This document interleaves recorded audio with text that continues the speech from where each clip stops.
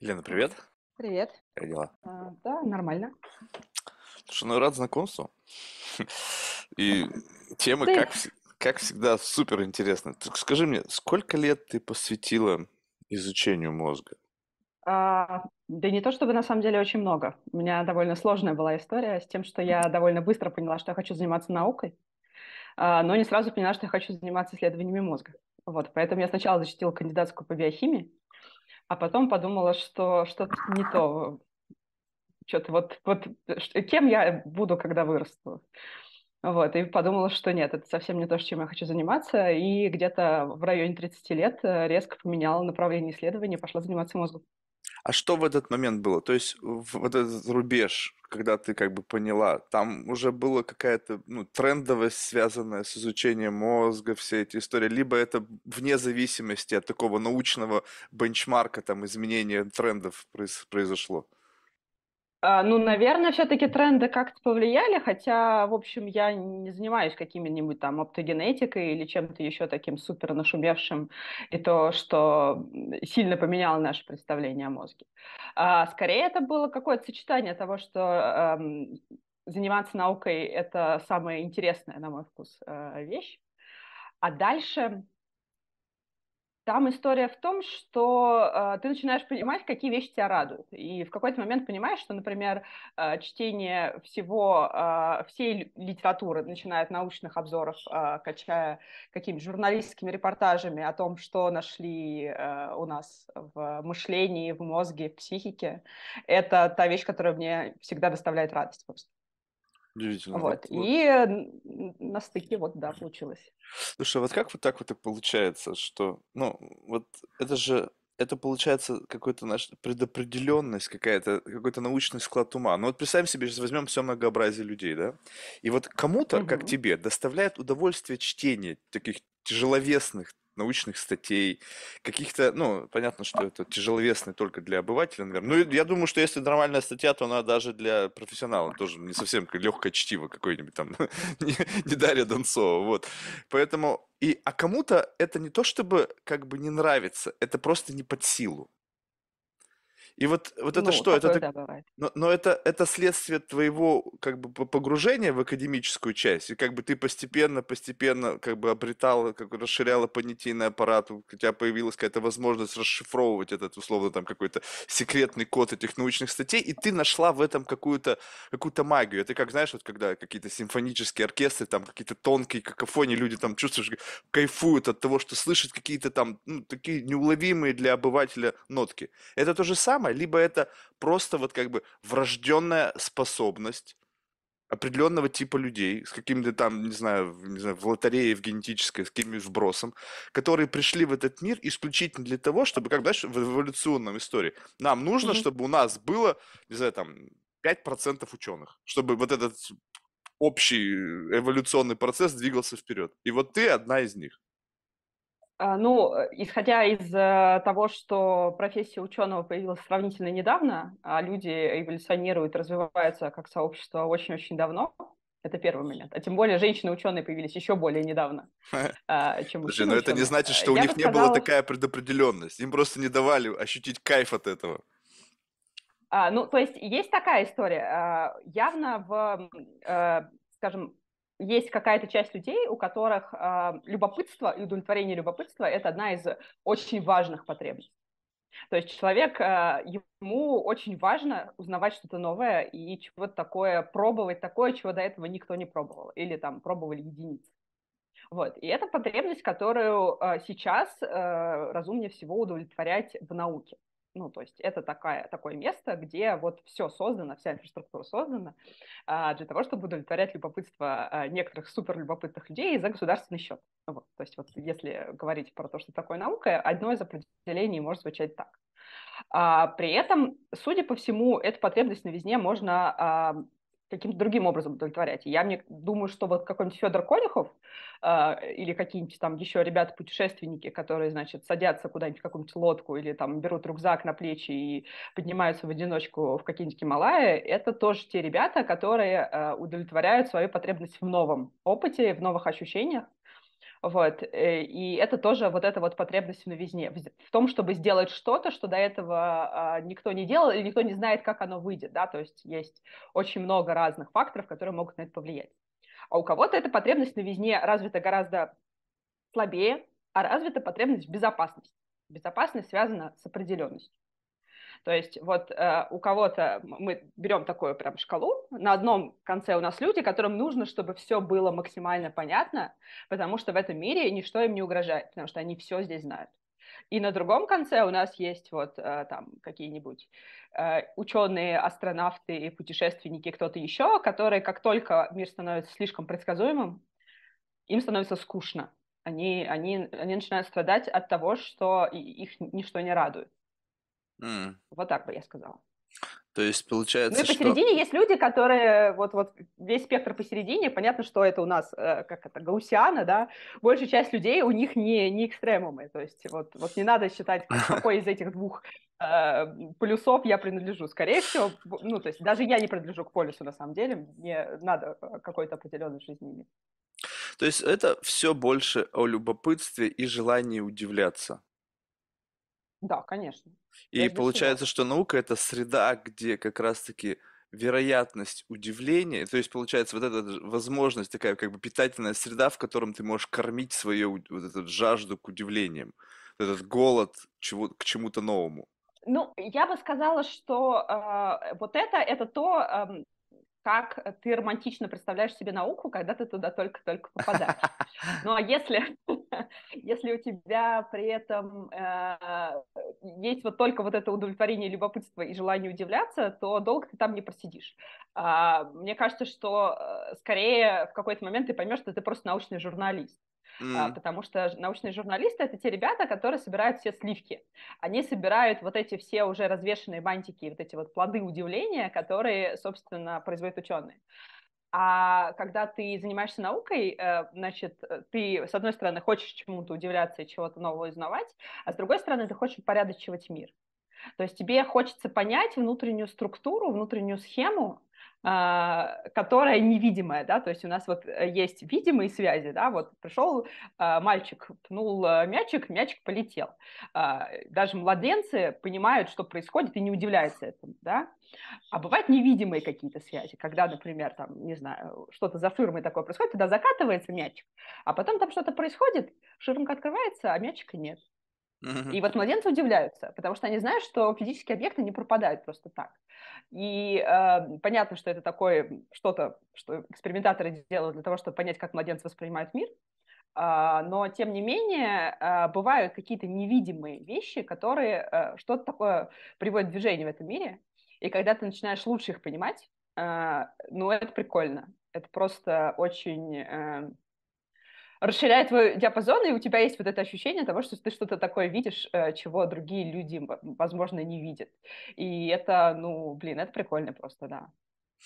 Слушай, ну вот э, тогда вот на что тут любопытно? Э, такое ощущение, что количество людей, может быть, сейчас вообще ошибаюсь, так что если что поправляю, просто по моему ощущению, не знаю, как оно в реальности, количество научных журналистов и всякого рода там, всех мастей популяризаторов науки, что связано там с нейробиологией, там, нейросайенсом in general, их как будто бы больше, чем самих людей, вовлеченных в этот процесс. Причем такой процесс не просто как бы, опять же, вот, ну, как бы, знаешь, я всегда задаю вопрос, ты человеческий мозг в руках держала? Ну, вот прям вот, чтобы... Нет, не держала. Вот. Вот, э, э ну, получается, что как бы ты больше теоретик, да? То есть ты как бы теоретизируешь. Первая инстанция это тот, кто держит в руках мозг. Ну, то есть то есть а, потом это он дает тебе... Подожди, ну, это ну да. патологоанатом. Да, но, но как бы ты же не можешь, как бы все, что строится у вас, я имею в виду на следующем эшелоне, когда есть теоретическая часть, это как бы основано на сыром материале. Ну, то есть, как бы Конечно. нету, если бы не было связи между каким-то телом внутри, то, то, в принципе, науки бы и не было, Да, о чем да, мы вообще да. говорим.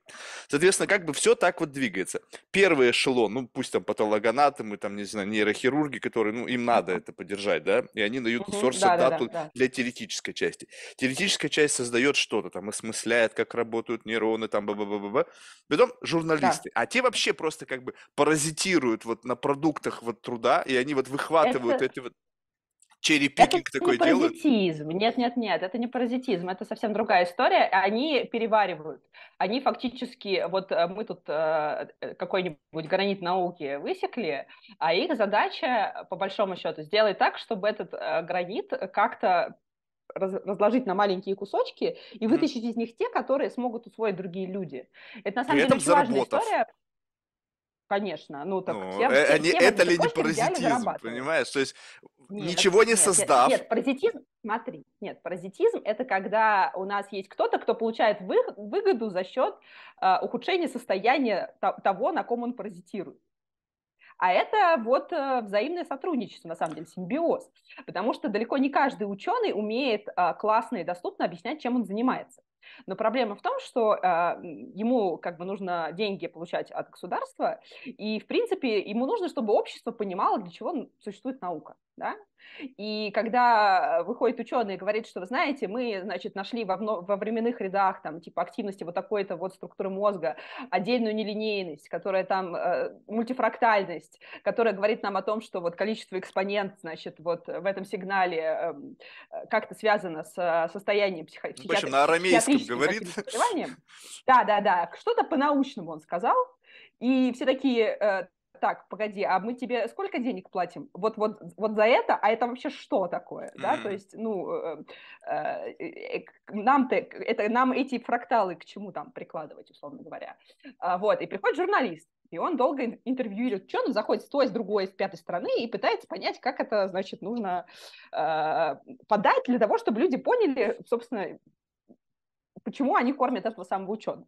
С другой стороны, понятно, что иногда из этого возникают всякие истории про то, что ученые каждый месяц находят лекарство от рака, а, при том, что ученые редко находят лекарство от рака, этим фарма занимается, да, это немножко другая просто профессия.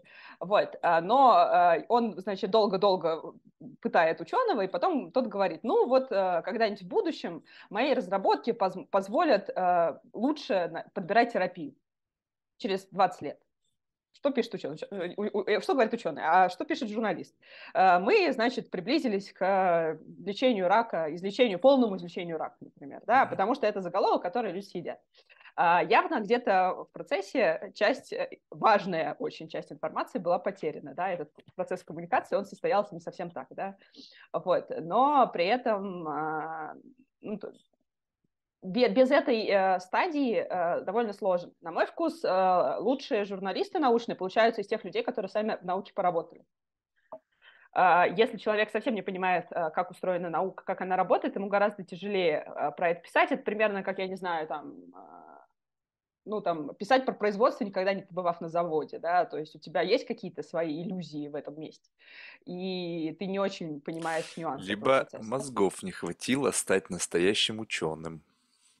А, мозги не нужны. Э, Изначально Подожди, же ну, мозги ну я, ну я условно они как бы сейчас сказал. Ну знаешь, как бы вот когда, э, допустим, есть критики, а есть люди, занимающиеся искусством. То есть когда кто-то кто пытался стать, не знаю, там художником, не знаю, там музыкантом, и у него что-то не получилось, ну не хватило вот этой капельки таланта для того, чтобы блистать. И он решил стать критиком, либо еще кем-то, только потому, чтобы как бы остаться, применить, вот у него был вектор применения какого-то бэк- бэкграунда, который все-таки он коснулся чего-то, но и дальше уже начинается. Вот тут, знаешь, что самое важное? То есть я это понимаю, для чего нужна вот эта вот как бы коммуникация между таким консервативным или там менее консервативным научным сообществом и обывателями, то есть просто или там грантодателями. То есть, ну, эта история понятна. Но Мгм, мгм. что меня в этот момент и это лично моя история, она очень субъективная. Я не думаю, что кто-то так еще... Ну, то есть есть, наверное, так думающий, но лично мой experience.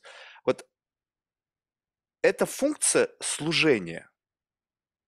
Так? Служение народу. То есть, как бы мы берем, вам перевариваем, как вот птички, там, потом расплевываем вот как бы птенцам, которые жаждут до знаний. Сейчас все жаждут до знаний. Ты посмотри, все сидят в интернете и только там дайте, дайте, дайте то, дайте все. И вот они сплевывают всем вот эту какую-то там блевотину переваренную, да, вот этого научного комьюнити. Но при всем при этом они на себя взвешивают как бы ну, такой ставят, становятся в позицию, что мы как бы, вот вы жалкие приматы, а мы вам сейчас объясним, вот как бы сплюнем вот это вот, как бы извергнем из себя вот эту светоч знаний. Хотя они к этому имеют весьма поверхностное отношение. Это то же самое, что человек, перевевший книгу, там, не знаю, Достоевского на английский язык, получает лавры наравне с самим Достоевским или там кого-нибудь, с кем-нибудь, кого он переводил, только потому, что он как бы перевел с одного языка на другой. И они так себя ведут, и меня это так раздражает, если честно. Не знаю почему. Ну, смотри, смотри, первый момент. А, не знаю, опять-таки, насколько этот факт э, известен и общедоступен, а, но вот э, тот же самый мед, который считается очень полезным а, продуктом, это отрыжка mm-hmm. пчел. Причем э, пчелы эти, они изначально собирают пыльцу, да, и в целом люди пыльцой как бы не питаются.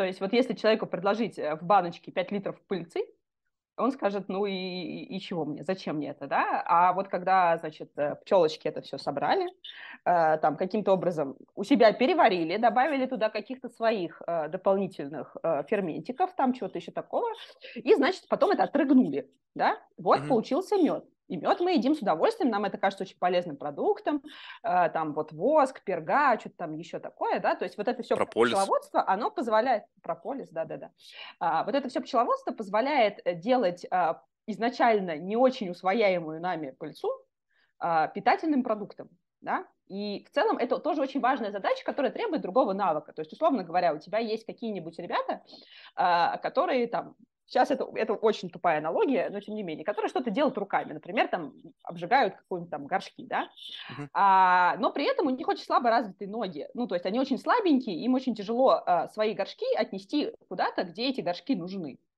Есть вот, условно говоря, журналисты, да, а у них а, руки у них не очень сильные, да, но у них вот за спиной там типа помещается много горшков, и они далеко за 10 километров в деревню на рынок этот, э, эти горшки приносят. И то, и другое очень важно. И то, и другое требует своего навыка. На самом деле навык коммуникации – это тоже очень важный навык. Не то, чтобы э, ученый совсем без навыка коммуникации может э, заниматься наукой, потому что научные статьи в журнале э, – это тоже какая-то коммуникация. Но эта коммуникация очень специфическая, вот прямо очень специфическая. А вот эта вот способность доступно и популярно изложить э, то, что там в этой науке происходит, это совершенно другая компетенция а это компетенция вот перевода чего-то, то, что ты говоришь, переводчик с одного языка на другой. Но на самом деле, если так подумать, а, редко кто знает переводчиков. Вот если спросить э, какого-нибудь э, поклонника русской литературы на Западе, знает ли он, кто переводил Достоевского и Толстого, то 90, если не больше процентов, 99, не назовут, кто конкретно конечно. переводил. Вот, да, а Достоевского, э, Достоевского и Толстого все знают. Соответственно, обычно, когда, опять-таки, эти вот журналисты работают, редко кто знает вот имен, имена журналистов, только самых-самых. Обычно все знают имена ученых, все равно. Да, то есть мы знаем Хокинга, мы знаем там Эйнштейна, мы знаем Дарвина, там, э, Стивена Пинкера, кто-то знает Сапольский, да, вот из нашей области, там, Франца де Вааля, и никто не знает ни переводчиков, ни коммуникаторов, ни тех людей, которые рассказывают про эти открытия. То есть все равно слава-то достается я бы сказала, первооткрыватели, так или иначе. Да, э, э, и все не, под, довольны. Э, подожди, э, с этим я согласен, но имеется в виду, что вот представь себе, вот есть, допустим, там Стивен Пинкер, неважно кто там угодно, да, вокруг него есть угу. люди, которые, ну, находятся, наблюдают за его деятельностью, так? И сейчас появилась с учетом интернета, всяких социальных медиа, возможность капитализироваться на вот этом каком-то пережевывании информации. И это, значит, между человечеством, между обывателями и ученым, который там занимается своей работой, появляется группа людей, которые начинают сорсить данные.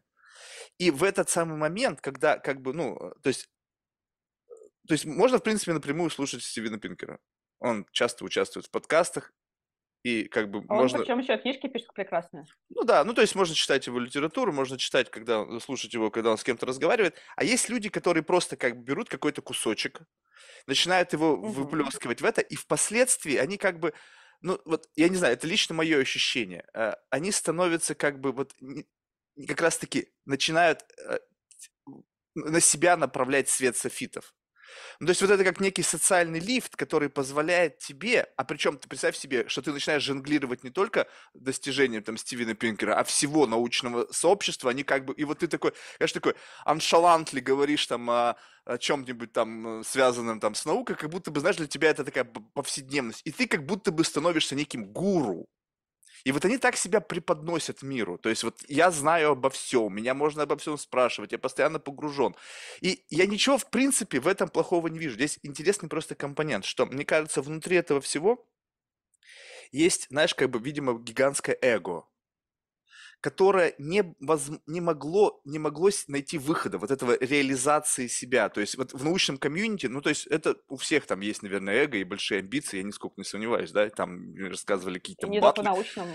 Ну, я имею в виду, как бы казалось всегда так, что научное комьюнити вроде бы там высокий уровень интеллигентности должен быть, там какой-то, не знаю, там, а там, говорят, такие батлы происходят жесткие, там люди там друг друга тоже, будь здоров, как э, в закулисе, там, в закулисных играх играют там. Вот, но смысл в том, что там есть какая-то своя, свой вектор развития, здесь свой. И получается так, когда человеку не удается реализовать себя на этом поприще, у него не, не закрытый как бы какой-то гештальт самореализации. И как только появляется возможность это, ну, какую-то вот эту вот незакрытую тему закрыть через вот эту вот трансформацию знаний, а если честно так посмотреть, то вот посмотрите, в биологии, ну, я сейчас без обид, как бы абсолютно, да, биологов, химиков, они никогда не были альфой. Ну, то есть это люди, когда ну, какие-то странные ребята что-то там бурчат на своем языке. Ну, я просто тебе говорю, честно, как это было. То есть ребята там с эконома, там, не знаю, какие-нибудь банкиры, это всегда были такие блистательные ребята, альфа и так далее. Вот опять, субъективно очень средств. И тут бам, появился интернет, появилась возможность. И угу. люди, раньше не имевшие шанса на успех, ну, то есть, если только ты не стал великим ученым, ну, или, либо среднего уровня ученый, пишешь статьи, получаешь признание и так далее. Ну, такой очень научный путь и как бы без доступа к большой аудитории. Ты мог быть известен в научных кругах. Сколько, как, как, э, широкая вот, э, в широкой общественности стало звучать имя Хокинга?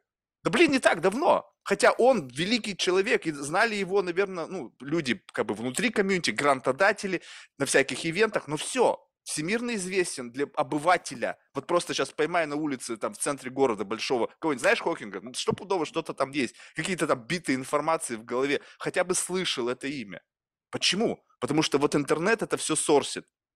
Получается так, что это возможность для людей, которых раньше не было шанса, в широком смысле, получить возможность вырасти за счет как бы капитализации на чужих знаний.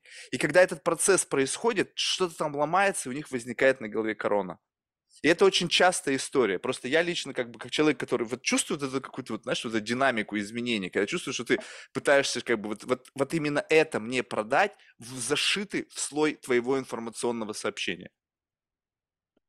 Смотри, а, если говорить про чужие и не чужие знания, то э, вся человеческая культура построена на том, что мы усваиваем чужие знания. Естественно. Но ты как а, бы это потому... признаешь, и ты как бы хамбл, ты как бы это не мое, я прикоснулся Я тебе уверяю, что тот же самый Стивен Пинкер, э, когда он э, и делает свои научные изыскания, когда он пишет свою литературу, 99% того, что он пишет, это знания других людей, на которых он там ссылается. Да? То есть он берет других умных дядей и тетей из той или иной сферы, там вот социологии, психологии, лингвистики, какой угодно еще сферы, и изучает, что они там по этому поводу думают, и из этого делает компиляцию. То есть фактически в этом плане научные журналисты, они они это делают немножко на другом уровне, но занимаются ровно тем же самым. То есть мы э, все перевариваем чужие знания, добавляем туда микроскопическую там частичку чего-то своего и э, получаем вот это вот свое новое знание. Вот. И вся человеческая культура э, так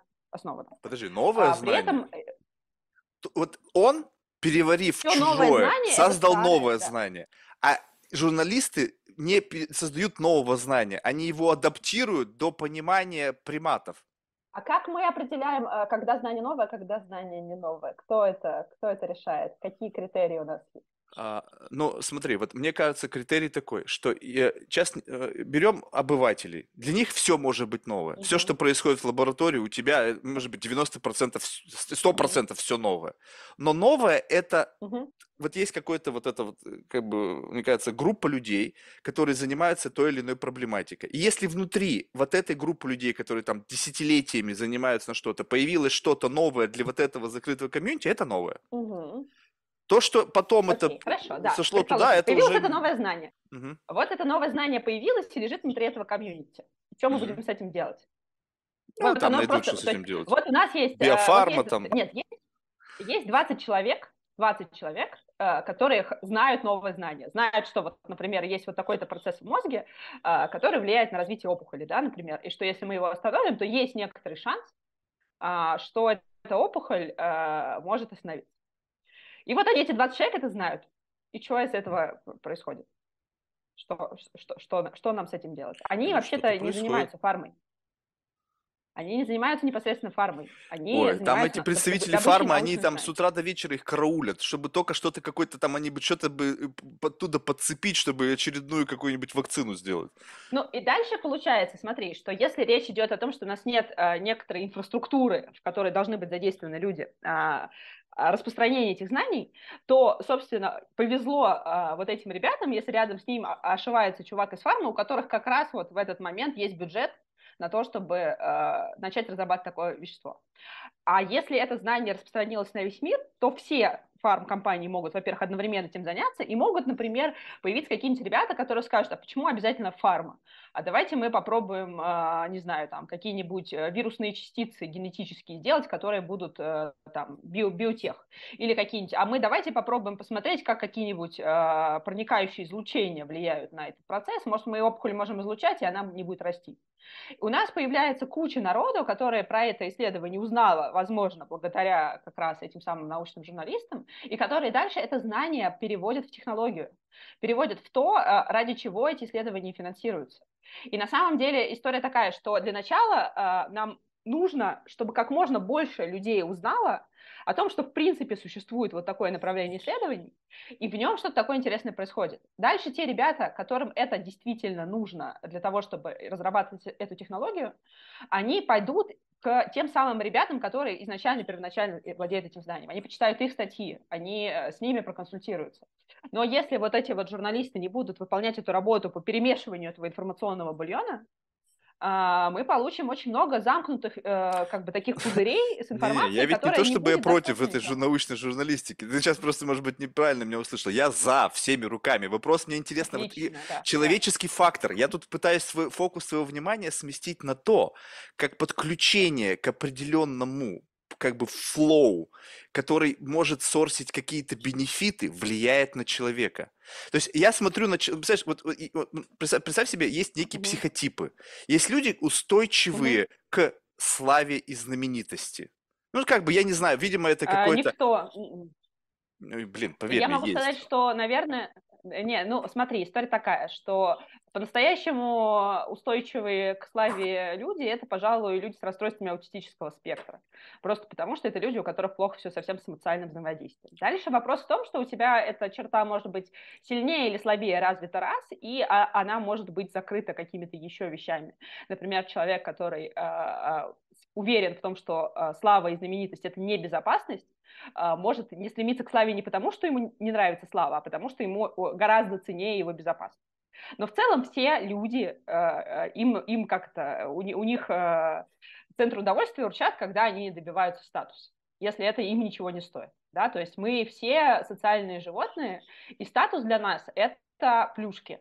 И все хотят статус. Другое дело, что у разных людей представление о том, что такое статус, и где его статус, и что он воспринимает как вот это вот э, э, дофаминчик там или какой-нибудь еще в центре удовольствия, очень сильно отличается в зависимости от того, э, чем человек занимается и как он вообще видит себе мир. Вот это вот. И теперь представь себе, вот, вот это сейчас держи вот эту классную мысль у себя в голове. Теперь Так, представь себе, так. что ты жила 25-30 лет, не имея этого удовольствия. И как бы никто на тебя не обращал внимания. И ты всегда была серой мышью, никому не нужной. Не было ни мужчин, с другой стороны, не было ни женщин, было какое-то комьюнити очень умных людей. Никто на тебя не обращал внимания, никто не просил тебя автограф, никто не писал комментарии к твоим книгам. То есть тебя как будто бы не было. И тут бам! Интернет, и так если ты классный... Ну, ну, не, ну это постепенный процесс. Ну Смотри, ну... ты, ты, ты рисуешь сферическую лошадь в вакууме, да, ты рисуешь такого Рэмбо, который вот, значит, был э, простым сельским э, мальчиком, да, дурачком, и вот он, значит, решил, что он займется боксом. Подожди, почему? Не-не-не, никакой не сельский, никакой не мальчик. Ты видишь, как он бегает. Ну, ты, ты, ты, в принципе, рисуешь историю Голливуда, да, где у нас в течение там часа двадцати... Да ну не а, часа, это процесс, там, но типа, когда... утенка. Нет, это, это не за один да, день этот, этот процесс, которым... Да, да, да, да, окей.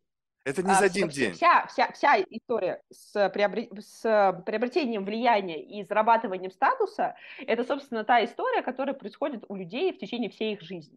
Да, вначале они зарабатывают себе статус, я не знаю, там, хорошего мальчика, а, успешной, э, там, типа, ученицы, а, там, типа, сообразительного, одаренного студента, да, то есть это тоже статусы. У нас вся эта штука, она на самом деле сегментирована на кучу маленьких таких незамкнутых, но групп, внутри которых которых ты, например, сначала, там, я не знаю, выиграла соревнования по карате в своем классе, потом в своей школе, а потом в э, там, не Слушай, знаю, ты так округе, хорошо да, перепрыгнула с, с науки на карате. Карате ты еще ладно, тебе хоть какой-то могли в науке, бенефит. В науке та же самая история. Смотри, в науке та же самая история. Ты пошел, ты студент, ты пошел в лабораторию, да, ты там чем, чем-то позанимался. Если у тебя хорошо получается, ты выступил на каком-то студенческой конференции в своем университете. Mm. А потом ты написал какую-нибудь статью и поучаствовал в какой-нибудь своей городской конференции. Ну и кто там и на этих конференциях постепенно... были? Я тебе про это и говорю, что там были как раз-таки люди, которые альфами никогда не были. Вот представь себе, там, не знаю, классический какой-нибудь там Ivy League school. И, значит, есть... Нет, а зачем Ivy League нет. альфой? Погоди, окей. Подожди. Э, давай, ну, просто давай. Э, э, люди... Смотри, вот тут очень важный момент. Никто... Не значит, да. мне надо. Это как будто бы вот то, что ты описываешь. Люди стремятся к чему-то, вот к этому дофамину. То есть Э, да. есть те, они смотрят на людей, которые, представь себе, ты умная, ну там умница, замечательно, выигрываешь какие-то там постоянно на Олимпиадах, каких-то конференциях, не знаю, там постоянно как бы ты, тебе, тобой дорожат на твоей кафедре, профессор видит в тебе будущее, он готов тебе передать свою эстафетную палочку. И ты внутри, не ты, некий кто-то другой. Не знаю, в каком-нибудь там mm-hmm. классическом вузе, там, не знаю, МГУ, там, не знаю, yeah. Гарвард, еще что-то. И, значит, ты там есть какие-то вообще далекие от науки люди, угу. но вокруг них там, они центр внимания, там мужики, там вокруг них классные телочки, красные телочки, вокруг них красные мужики. И ты говоришь, блин, ну, все равно люди есть люди.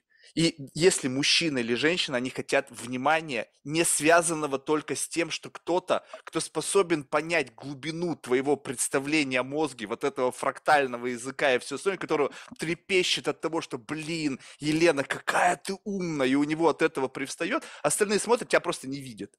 И тут бам, когда появляется вот этот как бы гэп, он когда ты из только комьюнити, которые способны тебя воспринимать как светоч какой-то, теперь на тебя обращают внимание только потому, что ты в свете софитов, и как бы ты, у тебя вот этот рейтинг твоей не просто научной цитируемости, а твое как бы фокус внимания к тебе как бы приближен, а все хотят быть с известными людьми. Ну, какого хрена там Хокинга? Он вообще... Ну, то есть, ну, с ним все хотели поговорить селебритиз, Леди Гага. Какого хрена Леди Гага и Хокинг? О чем? Хокингу разговаривать с Леди Гагой. Ну вообще, ну ты понимаешь себе, но она хотела к нему почему? коснуться. Почему? Почему? А почему, собственно, ты считаешь, что э, Хокингу не о чем разговаривать с Леди Гагой? Не, ну Хокинг...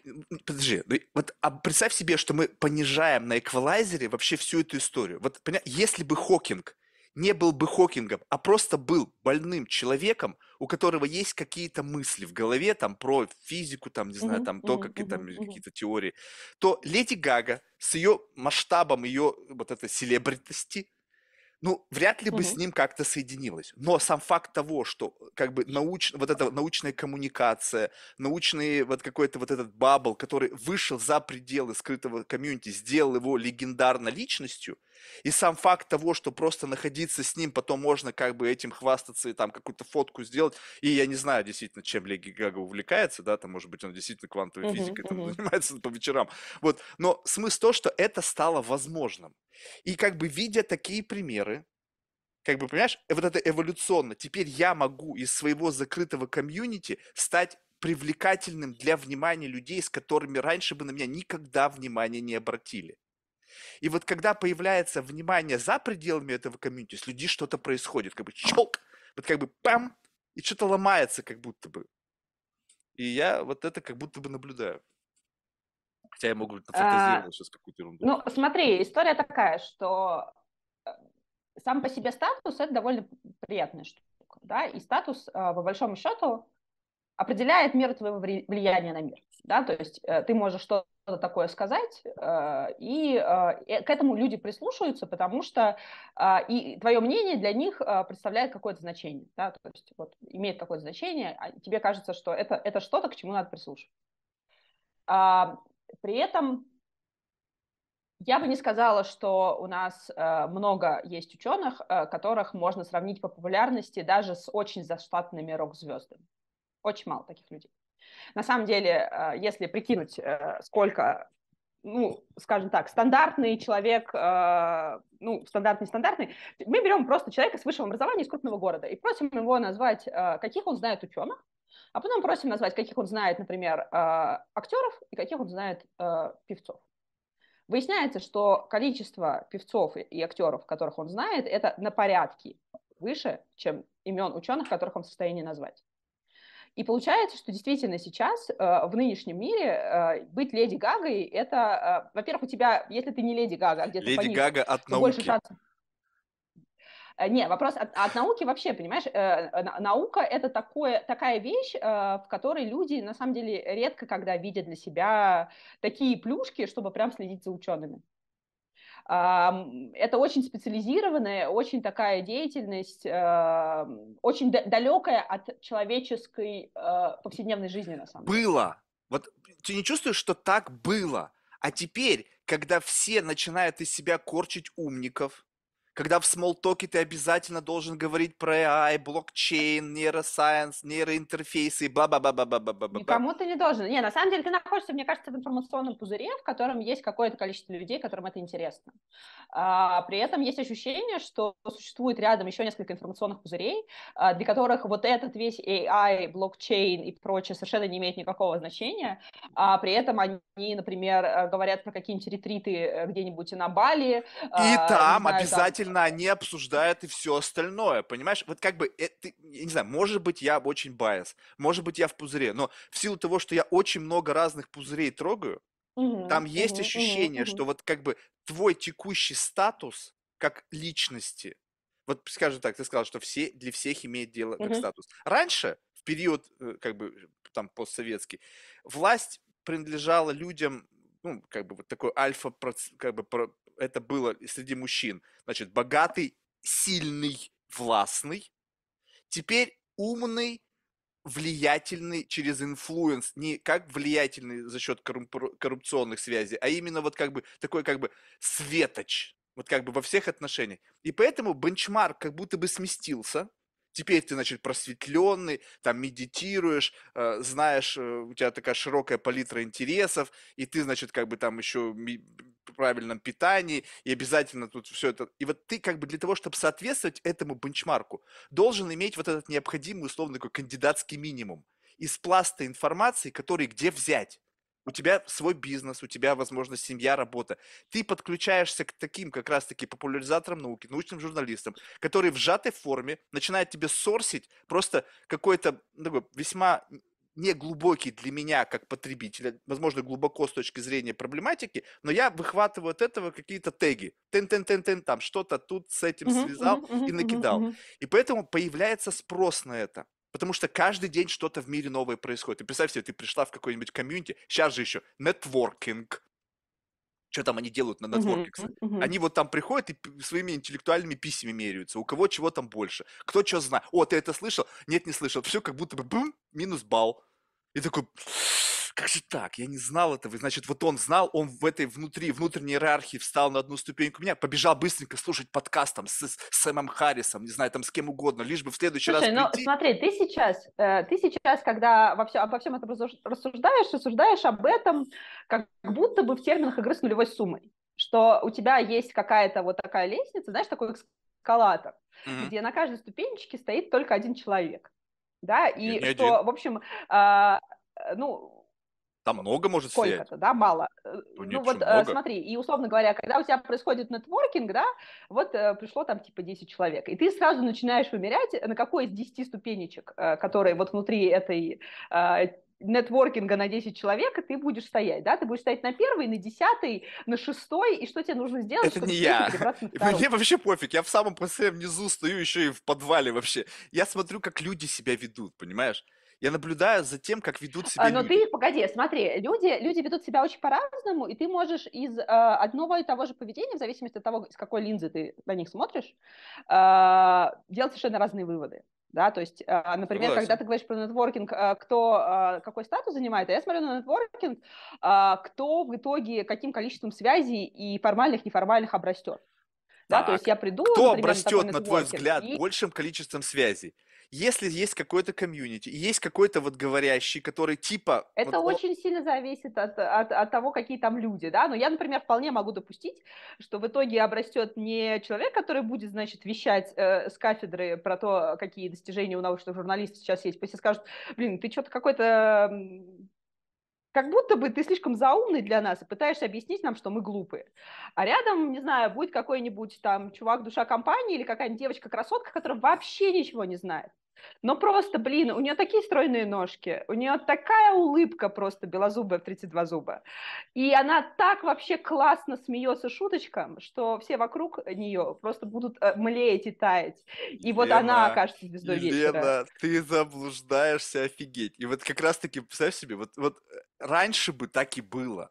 Раньше бы все бы забили на всяких там бурчащих ученых с их идеями, и все бы внимание было приковано вот как раз-таки к той дамочке. Сейчас эта дамочка стоит и думает, блин, какого хрена, что вообще происходит? На меня никто не обращает внимания. Мне девушки, вот эти психологи из Инстаграма, которые как бы непонятно вообще, что они там, чем они занимаются, и говорят, ко мне приходят красавицы, говорит, у нас секса нету, у нас нету секса. У меня, говорит, мужик, он вместо того, чтобы со мной трахаться, он подкасты смотрит, он какие-то книги читает, он еще что-то. У нас вообще какие-то разговоры, непонятно о чем происходит. Как раз-таки и есть теперь как будто бы вот эта вот а, система ценностного обмена. Почему? Потому что другие люди теперь. В системе ценностного обмена есть как бы необходимый доступ, как бы, что ты мне дашь. Вот я на тебя смотрю, и как бы вот в этом рамках нетворкинга, это было всегда. Люди смотрят не на тебя, кто ты, как ты выглядишь, ну, понятно, тоже смотрят, но я имею в виду, они смотрят, что ты мне можешь дать. И в зависимости, если у нас возникает система ценностного обмена, когда ты мне, я тебе, у нас возникает какая-то мгм. более-менее связь. И так формируется нетворк. Если Слушай, ты мне можешь дать просто принципе, стройные да. ноги, ну, Слушай, ну это зависит от того, что тебе конкретно в данный момент нужно, да, потому что у разных людей в разные а, моменты их жизни разные потребности. А, Я тебя уверяю, что до того момента, а, пока у человека появился какой-то свой а, партнер, если в принципе он, конечно, заинтересован в том, чтобы у него появился партнер, он оценивает других людей по физическим качествам привлекательности. Если взять каких-нибудь, например, там, типа, студентов, старшекурсников, ну, и в зависимости от того, как, как в каждом обществе, в какой момент ск- складываются пары. Но, там, опять-таки, студенты, они часто очень смотрят на, а, с одной стороны, привлекательность, и э, твою эрудицию воспринимают как еще один фактор о том, а можно ли будет с тобой о чем-нибудь поговорить, там, типа, если мы с тобой будем вместе. Но если ты при этом э, потрясающе эрудированный, но, не знаю, там, с, с кривыми зубами и прыщами, э, шансы того, что вокруг тебя соберется большое комьюнити людей, которые будут тебя внимать, э, смотри на. Асю И Казанцеву. только как... Слушай, ну она прекрасная девчонка. Ладно, у нее... Не, ну она не явно не, если сравнивать ее с моделями, то она как бы вообще далека от этого спектра. Но она вокруг себя как-то организовала это комьюнити людей, которые еще ее и защищают. Они, ты только скажи что-нибудь не так, они тебя загрызут. а, я, я сейчас привожу очень крайние примеры, да, но тем не менее, все зависит от того, какая у тебя сейчас потребность. Да, в тот момент, когда я, а, у меня есть незакрытая потребность в том, чтобы найти себе мужика, я смотрю на мужиков не в плане того, э, что они знают, а, например, в плане того, э, как я бы смогла бы с ними построить свою личную жизнь, и дальше зависит от того, что мне надо. А, может быть, мне нужно денег, и тогда я смотрю, а кто из них мной заинтересован и хорошо зарабатывает. А может быть, денег мне не нужна, мне нужна как бы независимость, да, я тогда смотрю, как эти мужики относятся к тому, что ты вот их как-то там подначиваешь и провоцируешь. А может, мне что-то еще надо в этой жизни, да, то есть каждый выбирает себе какого-то партнера. Дальше эта потребность закрылась, да, например, вот у меня появился свой там партнер, у, мужиков там появились какие-то свои там девушки, жены, все вот эту потребность закрыли. Дальше начинается, например, вопрос с поиском работы. И это другая потребность. И весь нетворк начинает работать вокруг того, а, кто чем занимается, у кого какие есть вакансии, а, кто какие прошел обучающие профессиональные курсы с тем, чтобы повысить свою привлекательность на рынке. Если ты нашел уже свою работу, то дальше у тебя возникает следующая потребность. И она может быть очень разной в зависимости от того, на какой а, жизненном этапе ты находишься. Но мне кажется, что потребность в том, чтобы понимать, как устроен мир вокруг, и чтобы улучшать свое качество жизни, она возникает ровно в тот момент, когда все вот эти базовые потребности закрыты. Нет, есть, я согласен с э, тобой, что если тебе нечего жрать, и ты вообще на грани уничтожения находишься, тогда, наверное, ты вряд ли будешь думать о какой-нибудь там экзистенции, там, не знаю, там, биологии, там, не... ну, это понятно, но мы же сейчас с тобой, окей, я согласен, что я сейчас опять черик-пикингом занимаюсь, что есть большой пласт людей, а их 99%, которые сейчас очень плохо живут, и у них как бы другие совершенно проблемы. Возможно, я просто как бы не смотрю, ну, даже, знаешь, честно тебе скажу, вот даже бывает так, вот у меня есть друзья, там, знаешь, как бы из Квинса, Бронкса, черные парни. Ну, то есть они вообще школу даже не закончили. Но я слышу в их разговорах тоже угу. какие-то вещи там про науку, еще я смотрю, думаю, слушай, ты сейчас как бы что-то у меня в голове сейчас щелкнул, чуть инсульт не случился от того, что я как бы режет слух. И как бы это все равно, так или иначе, в силу массовости. То есть посмотри, как бы информационная среда, она как будто бы пропитана всем этим. То есть, да, много всякого булщита, всяких там, не знаю, видео, там, где лижут унитазы, в общем, какой-то такой типичный, какой-то блевотина вообще никому не нужно. Но там все равно в силу как бы некого выстраивания такой как бы пирамиды бенчмарковости, ты все равно так или иначе, даже люди, которые там, в общем, далеки от науки, начинают что-то транслировать, чтобы как бы блеснуть умом. Но ты не видишь, что ли, что теперь это элемент как бы из вот, эм, как бы вот условно какого-то раньше такого великосветского комьюнити, где ты как бы must have иметь хорошее там классическое mm-hmm. образование, там несколько, это начинает постепенно двигаться в сторону людей даже с незакрытыми потребностями, которые тоже так или иначе как бы видят им навязывают, я не знаю, навязываются, либо так оно есть, и они тебе говорят, вот смотри, ты там внизу в болоте, вот тебе веревка, через эту веревку ты сможешь вылезти наверх.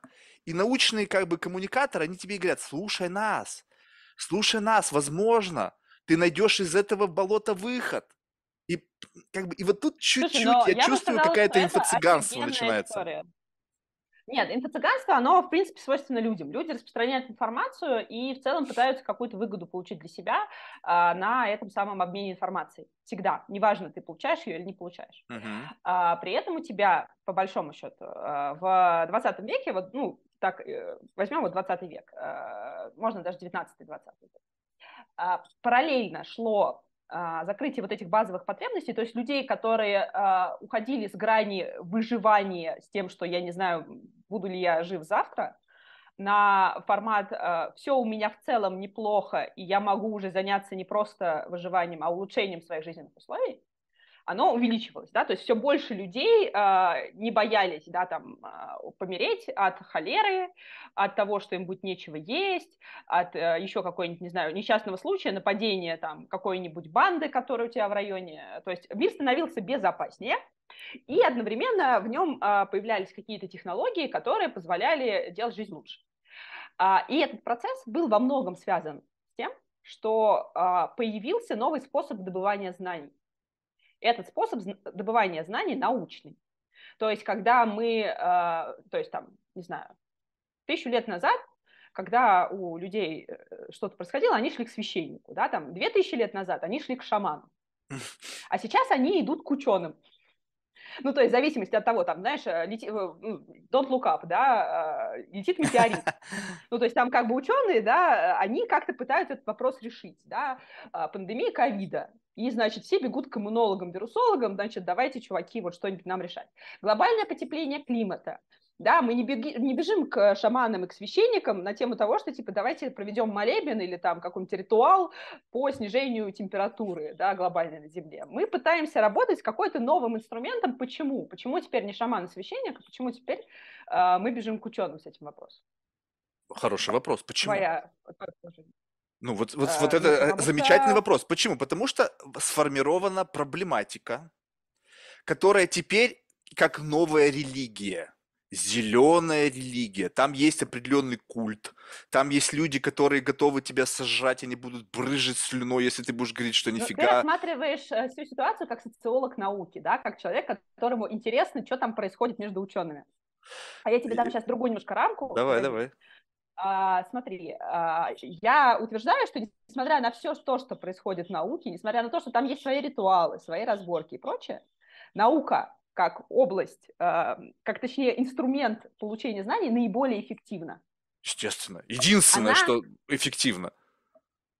Да, она дает тебе такие инструменты и такой способ описания мира, который, с одной стороны, ни на одном из этапов не говорит «мы познали истину», в отличие от шаманов и в отличие от священников. Стоп, стоп, стоп, подожди, подожди, подожди, подожди. Смотри, ты спрашиваешь шамана, как устроен мир, и он тебе рассказывает про черепаху и слонов, он тебе рассказывает про какого-нибудь бога, который разбросал кости там каких-нибудь животных, из них получились острова там или леса, или неважно что. Ты сейчас он сама себя знает, ведешь как... в тупик. Подожди, а, э, подожди. Ну, ты... да, сейчас, давай, да, да, да, дай я закончу мысль. Давай, давай. Да, то есть у нас есть какая-то картина мира, которая вот, ну, он, он тебе очень уверенно рассказывает эту картину мира. И при этом из этой картины мира он э, не может на самом деле вывести э, достоверное влияние, которое позволит решить тебе проблему. Он может делать молебен какой-нибудь, и, возможно, тебе поможет. Но, может быть, и нет, и он тогда объяснит это какими-нибудь там злыми духами, например. Да?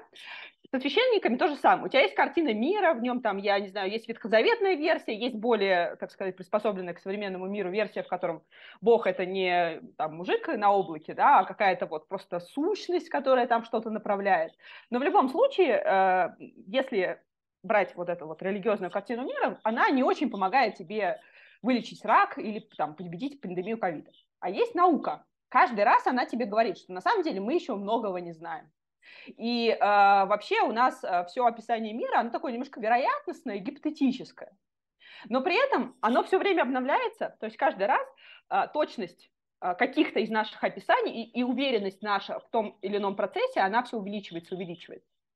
И в целом а, мы легко отказываемся а, от каких-то кусков картины мира, не боремся за них, если они подтвердились, если они не, не мэчатся. Нелегко, в этом-то и проблематика, что нелегко. Если ты всю жизнь жила в парадигме, что пирамиды там появились четыре с половиной тысячи лет назад, а теперь там, там этот Конхак, или как это там, Грехом какой-то там, короче, там еще, да, они да, как бы рисуют альтернативную версию, и их называют там представителями суда Science, там, но каждым годом, а он уже там десятилетия этим занимается, все больше и больше доказательств, а ты держишься, потому что у тебя все твои статьи, все твоя репутация, все-все-все построено только на то, вот этой вот линии какой-то временной, то тебе отказаться да, да, очень да. сложно. И если ты уже Слушай, ангажирован крупным комьюнити, крупным грантодателем, да, да. и ты, вот в этом ты, ты сейчас совершенно правильно сказала. Вот представь себе, что мы когда-то с учетом малого накопления знаний. Те, кто говорил о том, что мир стоит на трех черепахах, это было как бы front-end науки.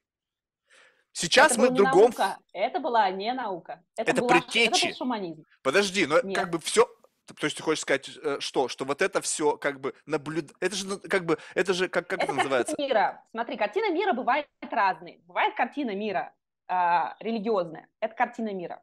Да, но а она бывает, постепенно э, трансформировалась. Это как, знаешь, как, Нет. как это называется, который Параллельно занимается... Ей... который наблюдение... Натурализм? За, за, да, натурализм. Это просто я смотрю на небо, я вижу там какие-то звезды, говорю, о, это звезда, это богиня, ба-ба-ба. Передал это своему сыну, сын рассказал внуку, внук там уже, папа, какие нахер богини, ты же гонишь? И вот отсюда началось следующий этап, когда уже на это смотрели как на небесное тело. Появился кто-то, А, кто стал смотри. обращать зависимость этого всего. А вопрос даже не в словаре, да, вопрос не в том, а, как мы называем а, там с- какие-нибудь созвездия, да, там мы называем э, там это галактиками или это мы называем божествами, да, вопрос не, даже не, не в названиях, не в терминах, а вопрос в картине мира как некотором способе взаимодействия с этим миром, да, и тем, какие конкретно силы а, могут а, воздействовать и как я могу использовать эти силы а, для того, чтобы получать какую-то выгоду. Вот, а, в, а, в религиозной картине шаманы, мира думаешь, они выгоду ней- не получали? Еще какую? Нет, они получают... Я, и говорю, я говорю, что разные картины мира отличаются тем, как именно мы взаимодействуем с этим миром и через кого и каким образом мы получаем выгоду. Вот в любой э, религиозной картине мира, а вот шаманизм и, там, условно говоря, христи- христианство и многие другие религии, это все религиозные картины мира, у тебя есть мир высших сил, у которых есть свои какие-то намерения, да, какие-то свои желания и цели, и есть некоторые а, переговорщики. И для того, чтобы как-то повлиять на эти высшие силы, тебе нужно, значит, задобрить некоторого переговорщика, а, и он там что-то сделает, да, там бубен по- побьет, э, кадилом помашет, что-то еще такое сделает, что, по его утверждениям, должно а, как-то намерение этих э, или цели этих там божеств или этого божества каким-то образом, значит, изменить. Вот, и у тебя есть некоторые посредники, которые получают выгоду, есть ты, который получает выгоду в том плане, что тебе спокойно, да, то есть у тебя есть ощущение контроля какого-то над ситуацией. И даже если у тебя этого контроля нет, ты все равно понимаешь, что у тебя есть некоторая определенность, что вот есть где-то там на небе, не знаю, какое-то существо, а, которое будет решать, а, жить твоему ребенку или умереть. Если ему там умереть, то, наверное, это вот на все воле его и там что-нибудь такое, либо за грехи, либо это вот как бы что-то там, ну, то есть я не знаю, не могу сказать, что я очень глубоко погружена в религию, а, какие-то там есть объяснения, да, и у тебя Мгм. есть вот это понимание, у тебя есть ощущение контроля и понимание того, что вокруг происходит. Да, но Это понимание альтернатива в тот момент неверным. у тебя есть? Дальше у тебя параллельно религиозные В тот момент у тебя начинает, альтернатива есть? а, а, Это сейчас у ну, тебя есть того, альтернатива. ситуация. Ну, возьмем-то вот глубокое Смотри, какое-нибудь... зависит от того, какая ситуация. А, всю жизнь, ну, то есть а, в какой-то момент, смотри, у тебя, например, а, шаман был одновременно и знахарем, да, он одновременно мог и какими-нибудь травками тебя покормить, и там бубен. Правильно. Но он Когда изначально туда пришел. более- Это как бы эволюция появление знахаря – это эволюция вот этого пьюр шаманизма, вообще ни с чем не связано. Потому что ему говорили, слушай, чувак, А, ну и- ты гонишь? И он должен стал искать методы, скольких людей он убил, прежде чем понял, что эта травка позволяет чуть-чуть снизить жар. Смотри, у тебя есть э, какие-то знания, которые передаются, да, и они накапливаются, да, и Вот, есть вот, вот. некоторые моменты обучения.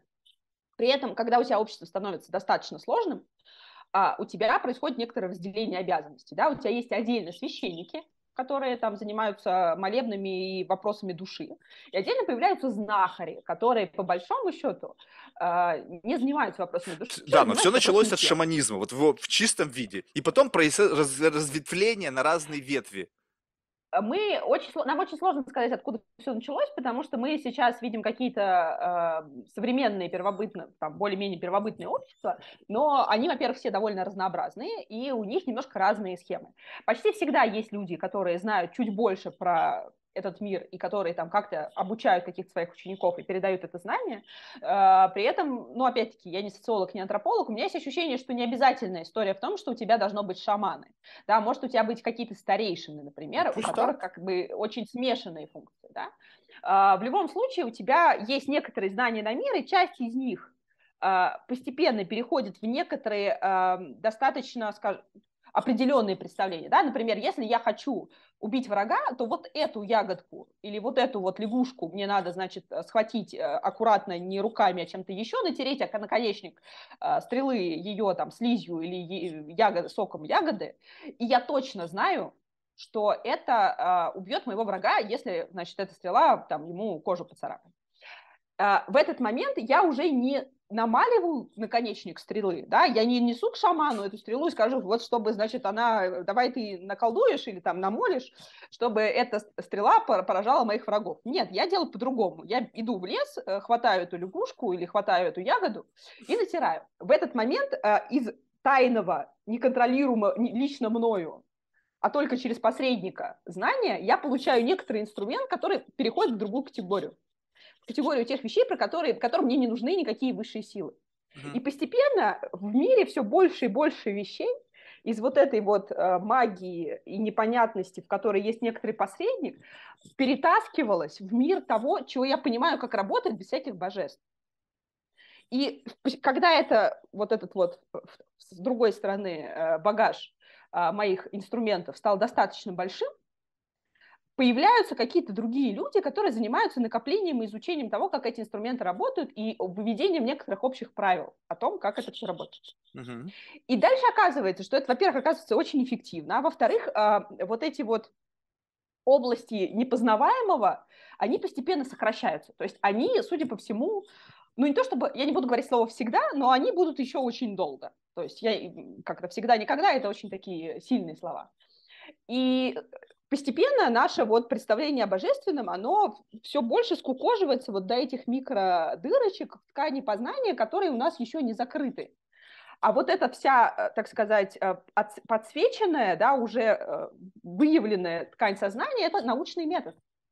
Хорошо. И именно он позволяет эффективно работать. Вот теперь представим себе, что мы на фронт-энде находимся науки, где дальше так. никто не знает как. И есть люди, причем уже там светочи, там, угу. не знаю, там, любого, любого назови, вуза, там, не знаю, какого-то научного центра, которые в, как бы являют миру гипотезы. Да, и, и что? И, и ну, какие-то идеи, которые пока еще не имеют какого-то, ну, не знаю, там, доказательной базы там не проведено, либо mm-hmm. это как бы intention, мы в будущем будем это делать. Да, да, и да, теперь, да. и что, да. я, я вот если вот касаться вот этих вот верхушек, да, здесь мы закрыли, теперь мы не натираем, блин, не ходим к шаману, чтобы там вылечить там, не знаю, какие-то болезни, мы идем к врачу, и он знает, что конкретно делать. Либо я сам знаю, что делать в каких-то более простых случаях. Mm-hmm. Но что касается того, что неизведано, одни говорят одно, вот вопрос примитивный, кофе. Кто-то так. говорит, что это полезно, причем там будут и легали, и докторские степени, и Гарвард, Ель, Принстон, все, что... И кто-то абсолютно противоположный, говорит, что это вообще полнейший бред, это яд, это вообще нужно сокращать и бла-бла-бла-бла. Где мне, жалкому примату, который вообще не понимает ни того, ни другого и надеется только на науку, научных лидеров, коммуникаторов науки, которые то к одному лагерю принадлежат, то к другому, а кто к третьему, вообще как бы там какой-нибудь вообще ересь альтернативная. Я-то как должен разобраться в этом? У меня нет шансов. Смотри, для начала я предлагаю тебе э, понять, что в твоем представлении должно быть пользой. А, то есть вот когда мы говорим в приложении о кофе, а, что ты называешь, э, собственно, пользой для себя? То есть какого эффекта ты хочешь добиться? Подожди, вот, вот это, это не должно быть субъективно. У этого польза нет. либо есть, не, не, смотри, либо смотри. ее нет. А, погоди, погоди, смотри, вот история такая. Вот э, курение, да? Курение mm. полезно или вредно? Ну, очевидно, вредно. А почему ты так говоришь? Ну, потому что так написано на пачке сигарет. Нет, ну я, я сейчас okay, шучу, но, да, да, но да. смысл, что есть, что да. если ты курильщик, ну, то да, да. наукой, ну, медициной да, да, показано, что да, следствиями да, да, курения да, могут смотри. быть разные формы болезней. А теперь смотри, э, история такая. Э, через 10 дней э, ты приговорен к смертной казни. Mm-hmm. Тебе очень плохо. Mm-hmm. В этот момент курить тебе полезно или вредно? Вообще бессмысленно. В смысле бессмысленно? Ну, что это бессмысленно. Да, знаешь, я, Нет, я смотри, курил. Э, у курения, у курения... Че не успокаивает? Что, не успокаивает? Не-а. А, ну, а, я просто, что и про, и про кофе, и про э, курение, э, я очень хорошо разбиралась, когда вот книжку писала как раз. Вот, и, собственно, там после вот всего, что связано с строением и работой мозга, есть несколько глав про то, что происходит, когда мы что-то делаем там. И последние три главы — это про алкоголь, кофе, сигарет, как самые известные такие психостимуляторы. Mm. А, и а, вопрос вообще пользы и вреда во многом определяется тем, какого целевого состояния ты хочешь достичь. Правильно. Цена. Меня интересует цена. Достижение этого Ты целевого говоришь- состояния стоит столько-то для твоего здоровья. Точка. И я уже дальше прихожу в магазин и говорю, так, вот это наркотик классно, Смотри, ты говоришь про здоровье как про... Да, да, ты говоришь про здоровье в рамках того, что ты прож- собираешься прожить а, очень, а, там, например, долгую жизнь, да, ты хочешь, например, дожить до 100 лет. И в этот момент ты говоришь о том, что вот конкретно вот эти и вот эти вещи сокра- сокра- сократят мою ожидаемую продолжительность жизни вот примерно вот на 100. Стоп, стоп, стоп. И я И этого не хочу. Под- Подожди, подожди. И тут очень важно. На вторую чашу весов сокращение жизни от стресса. И как бы во взаимосвязи между тем, что ты платишь условным раком легких, но не имеешь стресса, и, возможно, ты не умрешь от инфаркта, потому что ты еще и иногда гамбургеры ешь, что у тебя там система, там, как, ну, как бы, сердце и там сосуды там забиты холестериновыми да, да. пляшками. И ты как бы вот на стыке всего этого выявляешь какой-то максимум, какая-то цена. Ты платишь за это Да, но условно ты это вероятностью этих болезней, но не имеешь вероятности этих болезней. И ты взвешиваешь учетом Так вот я тебя, я предрасположенности тебя и далее. спрашиваю. Мгм. Через 10 э, дней у тебя смертная казнь. Тебе Мгм. осталось жить 10 дней, и это не зависит от курения. Мгм. В этот момент вред от курения, как бы, он тебе важен? Да, но мне не интересно в принципе курение. А, нет, э, ты, ты- ты просто когда ты говоришь вообще о любом, о любой пользе, о любой вреде, ты говоришь о какой-то очень сферической штуке, в которой у людей нету цели, и где цена как бы есть как какая-то Не, ну давай возьмем что-то да? другое, потому что, допустим, э, мне не интересно курение, потому что я там вообще ничего не выхватываю. Марихуану курить одно дело, Ну, понимаешь? смотри, Ну, допустим, кофе, кофе, бухать. ну смотри, кофе, Скажем да? так, в, в камере смертника тебе предлагают бесконечное количество бухла, чтобы ты эти 10 дней провел просто в забытие. Конечно, я буду бухать. Мгм. Ну вот смотри, история в том, что польза или вред определяется тем целевым э, как бы состоянием, которого ты хочешь достичь. Да, ну ты обозначила ситуацию самом 10 де- дней, там вообще действительно пофиг, что я могу даже разбежаться и башкой об стенку Вот, долбануться и не Вот, дожить до этих поэтому 10 дней. а, я, я к чему, собственно, привела этот экстремальный, опять-таки, пример? К тому, что понятие абстрактной пользы и абстрактного вреда не существует.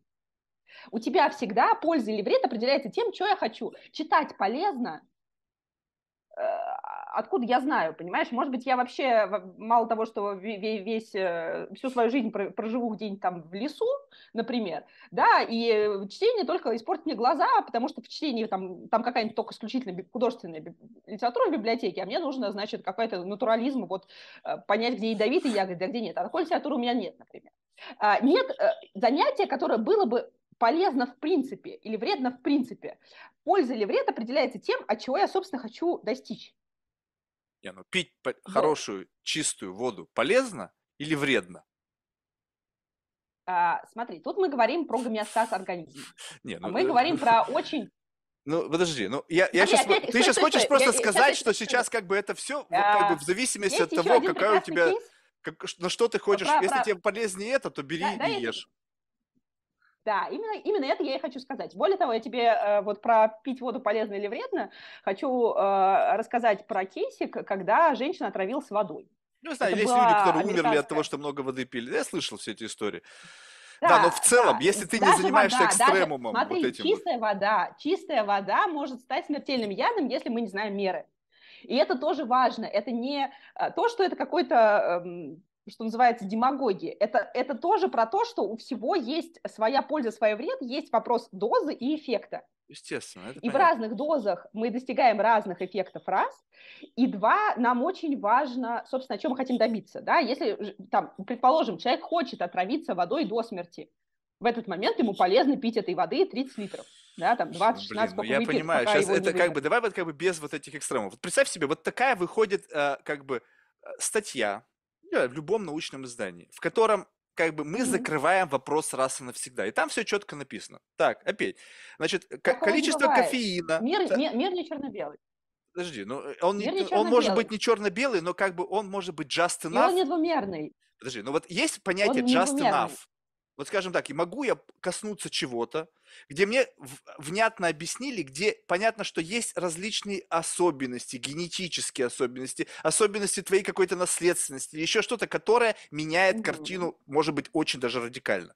Но если говорим, что я вот прямо как в этом посерединном полюсе, у меня нету каких-то дефектов, я обычный совершенно незаурядный человек. И вот если да. ты там незаурядный человек, мне прям так обращаются, ты незаурядный человек, у которого нету такого-то, такого-то, такого-то набора генетических как бы мутаций или там чего-то, каких-то там болезней, угу. то тебе да. будет более полезно выпивать одну чашку кофе, которая там не, не просто чашка, чашка разная бывает, там 50 миллилитров кофе, который содержит 10 миллилитров кофеина, миллиграмм кофеина раз в день, для того, чтобы угу. ты мог чувствовать какой-то там pump или еще что-то, и вот вот такой у этого будет долго выраженный на протяжении десятилетий side effect, который, возможно, приведет к вот к этому, и дальше уже сам решай. Будешь ты заплатить mm-hmm. эту цену, либо нет. И все. А не то, что другая статья, о котором одни говорят, что это приведет тебя к инфаркту, другие говорят, что это приведет тебя к долголетию, потому что там какие-то антиоксиданты, бла-бла-бла-бла-бла-бла. А смотри, у тебя может одновременно увеличиваться риск инфаркта и снижаться риск э, заболевания всеми остальными заболеваниями, например. Вообще легко.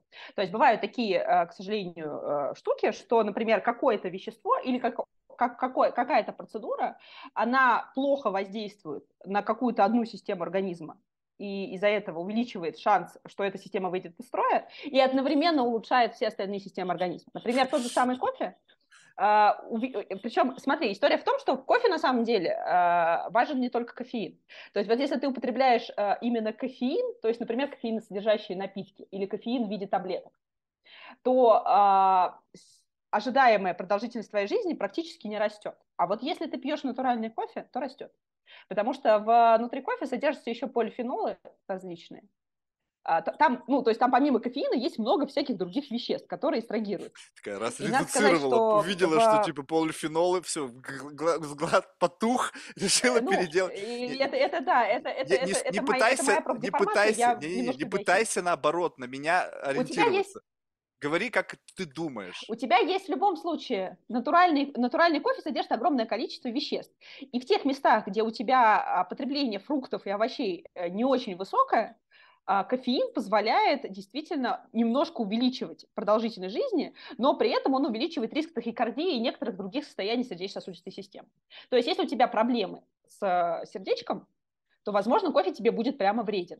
Но если у тебя сердце достаточно крепкое, то с высокой вероятностью в тех дозировках, которые указаны в э, больших обзорах, а, он чуть-чуть увеличит ожидаемую продолжительность твоей жизни. То есть э, про тебя конкретно ничего не, сказать нельзя, но нам на 100 тысяч человек, э, люди, из них 50 тысяч, например, пьют кофе, их продолжительность жизни будет в среднем длиннее, чем у тех 50 тысяч людей, например, которые кофе не пьют, если вот. речь идет о натуральном кофе. Тогда, тогда представь себе, вот как бы как быть человеком, ну то есть представь себе, что вот сейчас мы берем и такую проводим связь времен некий шаман, угу. который говорит, угу. что сейчас я там потрясу чем-то, какими-то там угу. сожгу там какой-нибудь там священный там тотем, там, не знаю, нанесу на него какие-нибудь руны, и твой ребенок будет жить. Ну, не знаю, что-то произошло, ребенка подключился иммунитет, там, не знаю, что-то, бам, ребенок выжил. Супер, все счастливы, блин, шаман помог. Угу. Теперь, другой шаман другой деревне сделал плюс-минус то же самое, ребенок умер блин, шаман не помог, mm-hmm. связали все с судьбой, там, не знаю, там, покарали, там, тебя карма, не знаю, что там было в то время. Вот, и получается, один человек пьет кофе, а, нет, дальше, следующий шаг. Приходит чувак в лес, mm-hmm. я все следую твоей парадигме, значит, со стрелой, мажет ее да. какой-то ядом жабы, аккуратно все делает, пф, стреляет в своего врага, враг умирает в муках. Другой чувак идет в лес, мажет ядом жабы, стреляет в другого чувака, то становится только сильнее, агрессивнее, забирает их всю деревню, насилует его жену, убивает детей. Потому что как сложилось, что яд этой жабы оказался для него каким-то там антибиотиком, не знаю, там антиинфламаторий, там какой-то еще что-то, а он как раз болел, и это его излечило. Также я пью кофеин, и как бы с вероятностью того, что я буду лучше жить, я проживаю. И получается так, что несмотря на смену веков, времен, изменения науки, мы не приходим к консенсусу, и это все очень субъективно. Наука в целом, она подсвечивает многообразие субъективностей, но в целом не дает мне правильного рецепта. Потому что а, мы все настолько разные. Ну а, а что тогда делает наука? Наука наука, она пытается объяснить а, то, как работает мир, и делает это не за счет того, что она описывает наблюдаемые mm-hmm. а, какие-то явления, а она сначала смотрит на какие-то наблюдаемые явления, потом у нее там, у, у какого-то ученого появляется идея о том, чем это может быть связано. И mm-hmm. дальше самая важная вещь, которая отличает научный метод от всего остального, это проверяемое и, точнее, фальсифицируемое предсказание. Я такая говорю, окей, мне кажется, что вот этой жабой смертельный яд, и я предсказываю, что э, все э, там, типа, враги, в которых я попаду вот этим наконечником стрелы, они помрут.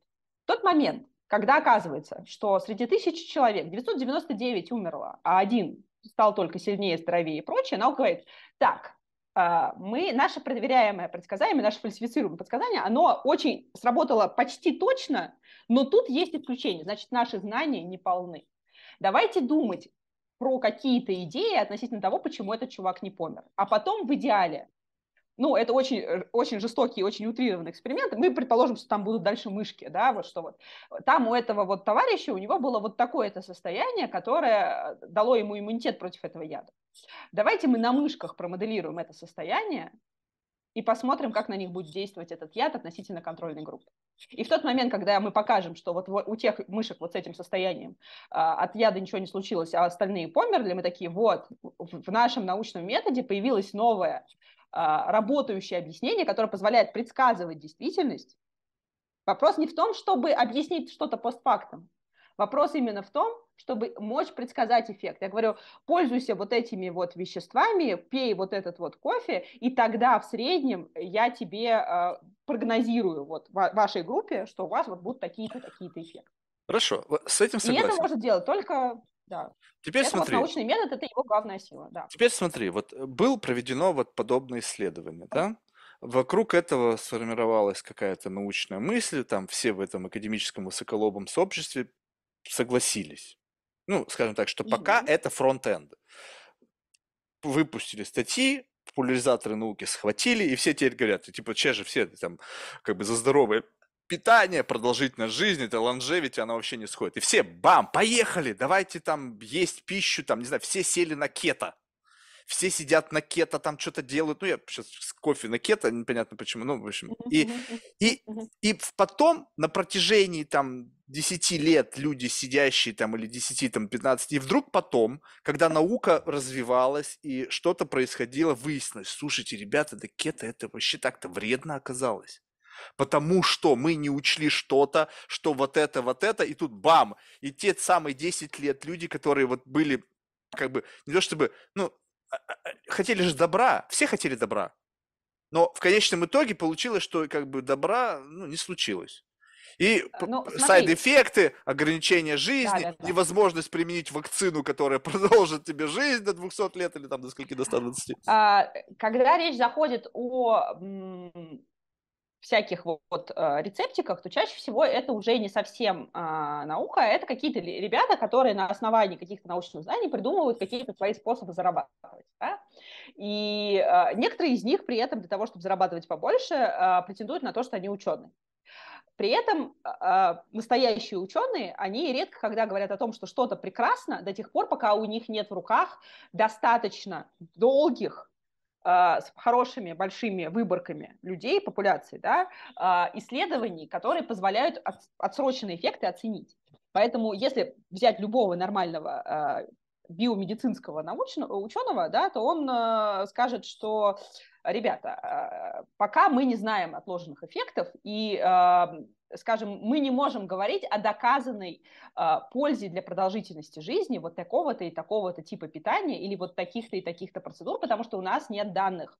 Чаще всего люди говорят именно это. И только те ребята, которые с этого непосредственно зарабатывают, рассказывают о том, как э, вся вот история и все известные данные говорят о том, что вот она панацея, которая позволит вам жить до 150 лет. Подожди, а как по-другому вот. это работает? Вот ты сидишь, у тебя гранты, ты писала там 100-страничный запрос на грант, тебе грантодатель сказал, что ты мне дашь взамен? Ну там какое-то количество статей, там ба ба ба Я тебе говорю, знания, знания, да. Ну да, ну вот. И получается знания. так, что в результате того вот выделенного тебе тебе грант, и ты пишешь, ну, мы тут провели исследование, освоили там, не знаю, 10 миллионов долларов, и в результате этого исследования мы пришли к тому, что вот как бы нам нужно еще 10 лет для того, чтобы понять, как бы, как это будет. Ну, ты что, думаешь, что тебе угу. даст грант такой на эти деньги? Не э, хотят? Да, да, именно так это и работает. То есть, смотри, наука – это штука, которая очень э, дорогая в моменте, но самая эффективная с точки зрения от, отложенных выгод. То есть, условно говоря, да, да, нам вообще еще нужно 50 лет будет изучать вот эту тему. Но в процессе этих 50 лет, возможно, мы даже не решим конкретно нашу проблему, вот, которую вот, вот. мы сейчас решаем. И, и вот тут Но приходит... мы разовьем методы, Но... мы разовьем какие-то методы, которые позволят решать другие проблемы раз. А, кроме того, мы будем оплачивать технологии, которые не только позволят нам делать какие-то свои физические эксперименты, но, например, приведут к разработке магнитно-резонансного томографа да, который вот э, изначально не планировался в исследованиях э, магнитного резонанса, да, ну, а ОП отличная технология, которая сработала. Это побочные продукты, которые возникают постоянно. Но конкретно, когда я пишу грант, я не в состоянии это предвидеть, я не ясновидящий. И вообще не, ну хорошо, если так это дорога... возникло. Но вот в большинстве это случаев как бывает? Вот, вот мне рассказывал Леон Пешкин. Он в Гарварде занимается там изучением лонжевити. Он говорит, ну, у меня, говорит, два пути. Говорить правду, что я, может быть, буду 10 лет заниматься этим, 30 лет, 50, а может быть, вообще неизвестно, сколько, может, жизни моей не хватит решить ту проблему, которую как бы вы хотите решить. Да. И с вероятностью достаточно большой грант я не получу, потому что всем нужен как бы эффект. Не то, чтобы ты напишешь, ты должен нам по этому гранту написать там 10 или там 5 статей в каких-то цитируемых журналах, и типа все классно, спасибо. Ну, есть такие, наверное, филантропы, которые как бы им пофиг, лишь бы как бы движуха шла, может быть, у него, вот как бы, знаешь, такая конспирология, да, что на самом деле там Илон Маск, у него есть там риск, там, не знаю, там, Паркинсона, и поэтому он быстрее, быстрее начинает заниматься этим э, нейро- нейроинтерфейсами, чтобы когда подойдет возраст, там, когда он может, или там какая-то любая генетическая, вот эта дегенеративная какая-то болезнь, чтобы он мог ее решить за счет того, что он как бы вживил себе девайс, который... уже инвазивно лечит. Паркинсон инвазивно лечит, для этого не надо было нейролинк организовывать. Ну, я, может быть, что-то другое, я не да. знаю. Я просто тебе говорю, что представим себе, есть, возможно, какой-то филантроп, который, вот там, не знаю, у него там бабушка, любимая мама, там, не знаю, умерла от какой-нибудь болезни, и он просто так дает деньги, лишь бы это двигалось. Ему не нужен результат. Но большинство людей результат ориентированы стороны. Любые Foundation, Gates и все остальные, да, это да, ребята, да. которые считают бабло. И поэтому mm-hmm. тут возникает такой как бы конфликт интересов и даже какая вероятность сделки с совестью.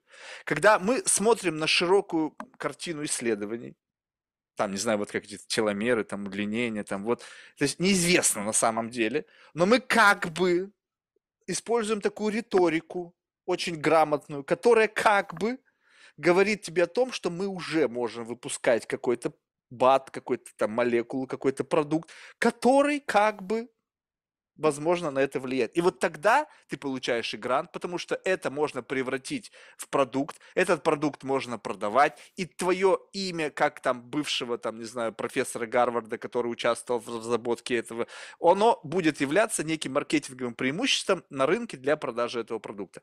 И бам! То есть люди коррумпированы, их совесть не кристальна.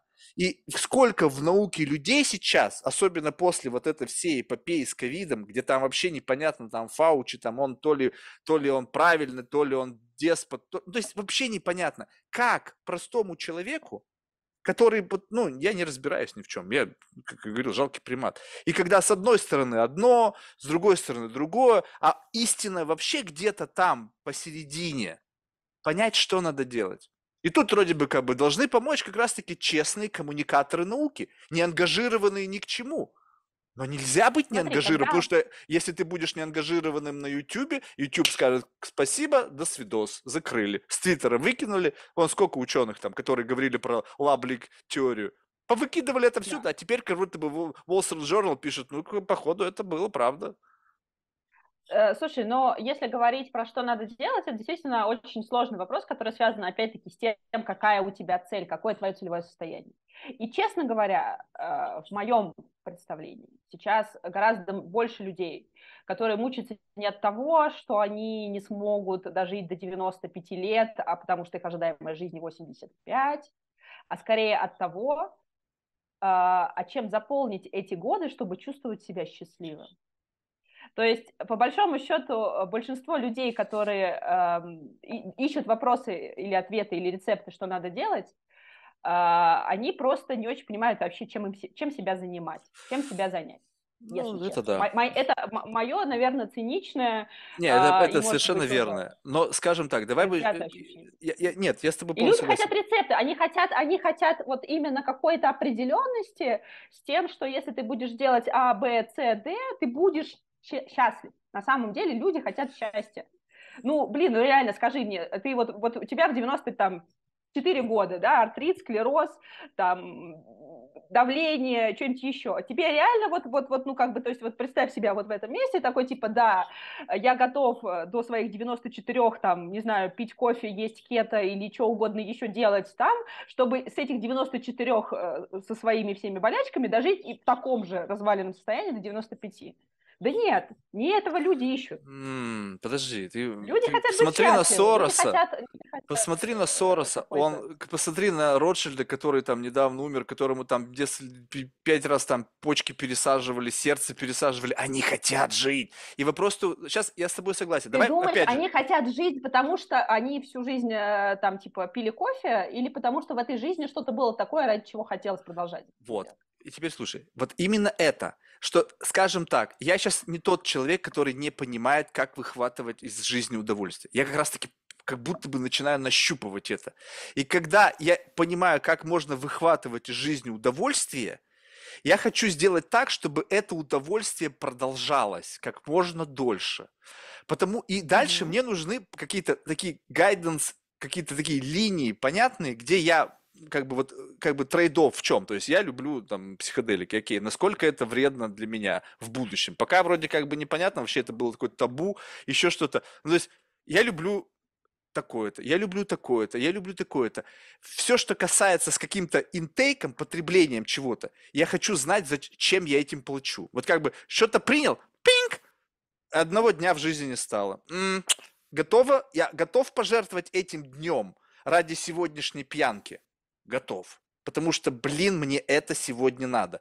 Если это 10 дней из моей жизни вычеркивают, я уже буду думать. Так, подожди, вот сегодня действительно та компания и то место, в котором я готов пожертвовать 10 дней своей жизни. Смотришь на сочный такой классный гамбургер, и такой думаешь, так, хочу. Тебе говорят, вот это конкретно для тебя потребление этого гамбургера уменьшит 5 дней твоей жизни. Ты такой, Пять дней не готов. Поем салат. Салат два дня прибавит в твоей жизни, потому что ты вчера бухал, и это три дня вышло. Сальдо положительное. Бэм, ем салат. Ты понимаешь, когда это превращается в такую математику понятную, где есть дебет и кредит, ты что-то сделал, убавила, что-то сделал, mm-hmm. полезное прибыло. Я могу понимать, что я управляю хоть чем-то в своей жизни. Когда я живу в мире, где я непонятно что делаю, и как бы мне то одно говорят, то другое, то третье, я говорю, так, ребята, я вообще не понимаю. То есть я говорю, окей, я забью на все, есть веру, веру, уверую в детерминизм, что угу. мне отписано какое-то количество лет, и когда ты смотришь на чуваков, которые там, не знаю, в 90 лет курят, и им как бы ржут на теми, кто там, не знаю, там всю жизнь здоровым питанием умирает в 50 там от какой-то там странного, не знаю, инсульта, инфаркта или еще чего-то. То есть может быть, действительно есть какой-то срок службы твоего биологического юнита, и детерминизм пропитано все, что ты будешь делать, что ты будешь есть, и это резилиенс, который... Ну, вот 85 тебе отписано, и все, и ты будешь что угодно делать, 85 проживешь. Не знаю. Все, и как бы я в тупике. Ну как-то же ты выходишь из этого тупика? Да никак. Просто забил. Ну да, я как бы, вот. может быть... Вот это э, тоже выход, это тоже выход. Это такой очень очень ненаучный выход. занимаешься своими делами. Ну да. ну понимаешь, что дело? Наука это не, как тебе сказать, она не религия, на самом деле, она э, и этически нейтральна изначально, да, то есть дальше мы к ней уже прикручиваем этику на тему того, насколько, например, уместно э, врать для того, чтобы продолжать свои исследования. На мой вкус, не, неуместно, но опять-таки у каждого тут свой выбор, и опять-таки не факт, что если мне не предложат там какие-нибудь безумные деньги, которые покроют все мои там, типа, потребности на ближайшие много лет, я не смогу там найти какой-то для себя компромисс, который могу пожертвовать. Мне, мне никто никогда не предлагал, поэтому я никогда не стояла перед этой задачей в реальность. Но наука это в любом случае, это некоторый инструмент познания мира, который тоже можно к чему-то прикладывать. Понимаешь, у тебя есть микроскоп, а тебе нужна йогуртница в данный момент. Э, и как бы не стоит науку воспринимать как э, справочник с ответами на все жизненные вопросы. Нет, это она, она, она рассказывает про то, как устроен мир, а то, для чего тебе это знать и как тебе это использовать, и какая вообще твоя цель в жизни, наука тебе не расскажет. Просто потому, что это индивидуальная вещь, которая не научна. Она, она, она внутри тебя должна быть и, или должна быть. И это, твое представление понятно. о том, что хорошо и что плохо, оно тоже до некоторой степени связано с этикой, с наукой. Вот. Да, но вот когда мы живем да. в мире, где вопрос этики, то есть с одной стороны, одна, на одной стороне мы настолько стали этичными, что даже deadnaming слова не является, чтобы тебя выкинули с Твиттера, а с другой стороны, когда люди намеренно скрывают side effect от вакцин для того, чтобы вот это, сократить как бы э, сомнения и вот не подпитывать антиваксеров, тогда где как бы истина? Если наука, она несмотря на то, что она не является истиной в последней инстанции, это как инструмент, некая призма восприятия нашего мира, которая позволяет тебе, ну, хоть сколько-то приблизиться к истине. Но если уже внутри самого самого научного комьюнити и всего вот этого ангажированного к этому научному комьюнити, какого-то обросшего там, не знаю, бюрократией, там, какими-то государственными структурами, какого-то монстра такого, тебе просто говорят условно «кали», и не говорят, что можно и не колоть, да, то получается, э, как бы, ну, мне-то чему следовать? Если ты начинаешь следовать чему-то альтернативному, но... и тут, да. знаешь, вот тут очень важный момент. Роль научных журналистов в этом процессе, она как бы феноменальна. Было у меня несколько э, людей, которые так или иначе занимаются популяризацией науки. И их, они даже сами это как-то, может быть, не совсем артикулированно признают, рассвет их популярности пришелся на период ковида. И ты смотришь у них видеоролики на их ютубе, там ковид, ковид, ковид, ковид, ковид, ковид, ковид, ковид, ну там, и все, все эти Слушай, видео это, с максимальной... Это понятно. Ну да, ну что? Какую, потому что, какую потому пользу что вещь, которая требует научного... Понимаешь, смотри, история такая. У тебя появляется штука, в, феномен, да, какое-то явление, которое начинает оказывать э, супер влияние на твою жизнь, и про которое тебе ничего не известно, ничего не понятно. Единственные люди, которые могут тебе что-то про это рассказать, что это за херня такая, и как она будет дальше себя вести, чтобы ты как-то мог вообще прогнозировать, что-то понимать про нее. Это, собственно, научные журналисты, потому что, опять-таки, э, далеко не каждый человек в состоянии открыть журнал, э, журнал каждый Lancet, из? Которых ангажирован какой-то научной мысли, какому-то научному исследованию, и он считает, что это правильно. Да, конечно. А, а, так, все, мы люди, понимаешь? И более того, э, искусственный интеллект, который мы сейчас создаем, его создают тоже люди. И обучают его на корпусе текстов людей. Mm-hmm. Поэтому даже при всем при том, что вероятнее всего он будет лишен некоторых человеческих качеств, каких-то других человеческих качеств э, ему будет вот так вот с горочкой. А, и вопрос в том, что любая, любое человеческое существование – это а, набор конфликтов, а, в которых нет идеального решения. И каждый должен решать сам. Да? Моя личная выгода и моя личная прибыль, и мой личный статус, и мой личный успех против рисков для жизни других людей, например. Да? Или там, у меня есть 100 баксов, на кого я их потрачу? На себя или на своих детей? Вот это прям совершенно генетическая история, да? То есть есть я, я любимый, хороший, э, и вот есть вот эта вот э, такая наивно понимаемая история про то, что у нас вот типа задача э, распространять свои гены, хотя по идее у генов задача распространять свои гены себя, в смысле, своей копии. Вот. Но, тем не менее, вот этот вот конфликт, у меня есть ограниченный ресурс, и куда я его вложу?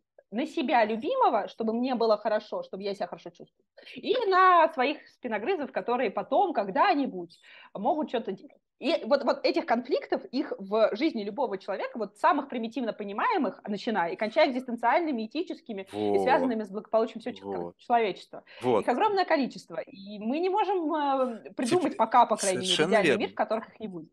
А теперь представь себе, Скорее всего, что, вообще невозможно. что представь себе теперь, вот я, у которого тоже этих конфликтов более чем достаточно, но я никто и звать меня никак. И поэтому даже если я буду действовать в реализации своих каких-то личных, там, каких-то эгоцентричных интересах, то я вряд ли mm-hmm. смогу навредить большому количеству людей. Ну, потому что, блин, ну, я никто. А теперь представь себе, что некий популяризатор науки, который mm-hmm. смотрит на специфику поисковой оптимизации, который представляет, как работают алгоритмы, потому что есть люди, которые об этом говорят, все, что связано с популяризацией, вакцинирования, проблематики, mm-hmm. той базовой, там, Нью-Йорк Тайм, Вашингтон Пост, я буду следовать этой агенде, тогда я буду получать более высокий рейтинг цитируемости, более высокий рейтинг там просмотров, там impressions, там, ну все, все остальное.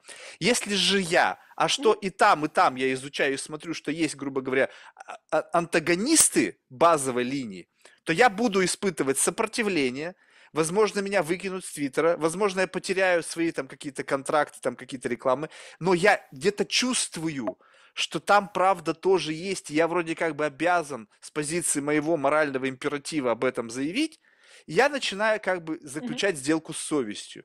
И когда ты, решая свою проблему, а твоя проблема простая, тебе нужно квартиру купить, тебе нужно детей там оставить в частную школу, еще что, ты говоришь, так, что мне делать? Быть бессеребренником, но кристально чистым, и, возможно, потерять даже то, что я имею. Либо опираясь на вроде бы там Фаучи, там, не знаю, там на Министерство здравоохранения, там Всемирная организация здравоохранения, базовую линию и приплести туда всякие исследования людей, которые как бы опять же ангажированы к кому-то и получают финансирование от тех, кому они сорсят это. И как бы мои взятки гладкие, я же научный журналист, я просто вот сказал, что это классно. И это распространяется дальше. И как бы внутри каждого вот этой проблематики есть как бы common sense – есть как бы семья, есть личностные потребности, но эти люди влияют на других людей. Если я кому-то скажу, ребята, прыгайте там в воду в холодную каждый день, занимайтесь там моржеванием, и Роган скажет, что вот я каждый день там в ванну прыгаю, там ледяную, там около нуля, какое количество людей он может как бы вот ну, завирусить вот этой вот фигней, и все, что он говорит, ну он или бы они, кто имеет большую паству вот этих подключенных к ним людей, влияет на этих людей, потому что иначе нафига они к ним подключены, потому что, ну, блин, наверное, они как бы и постоянно ждут чего-то, что поможет им что-то в жизни улучшить. И получается, что так, когда мы знаем о несовершенстве человеческой природы, о внутреннем эгоизме, о внутренних проблематиках, как можно вообще хоть об одном утверждении, сказанном кем-то, вот без декомпозирования, без понимания, в чем, где природа твоего выбора, на чем она основана? Она основана на научных фактах, либо в бэкграунде все-таки школа, блин, надо детей, 40 тысяч в год. Офигеть, где взять эти деньги? Похер. Бам!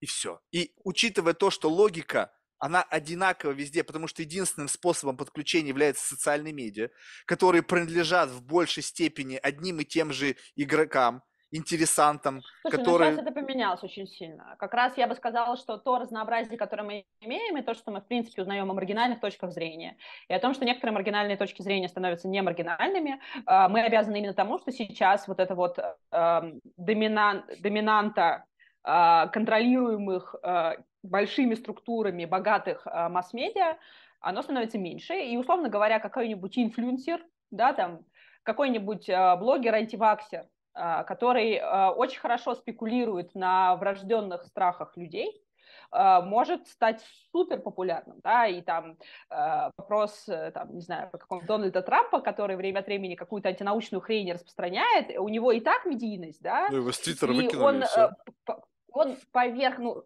слушай, даже при том, что его выкинули из Твиттера, как бы какие-то каналы распространения информации довольно популярны у него есть.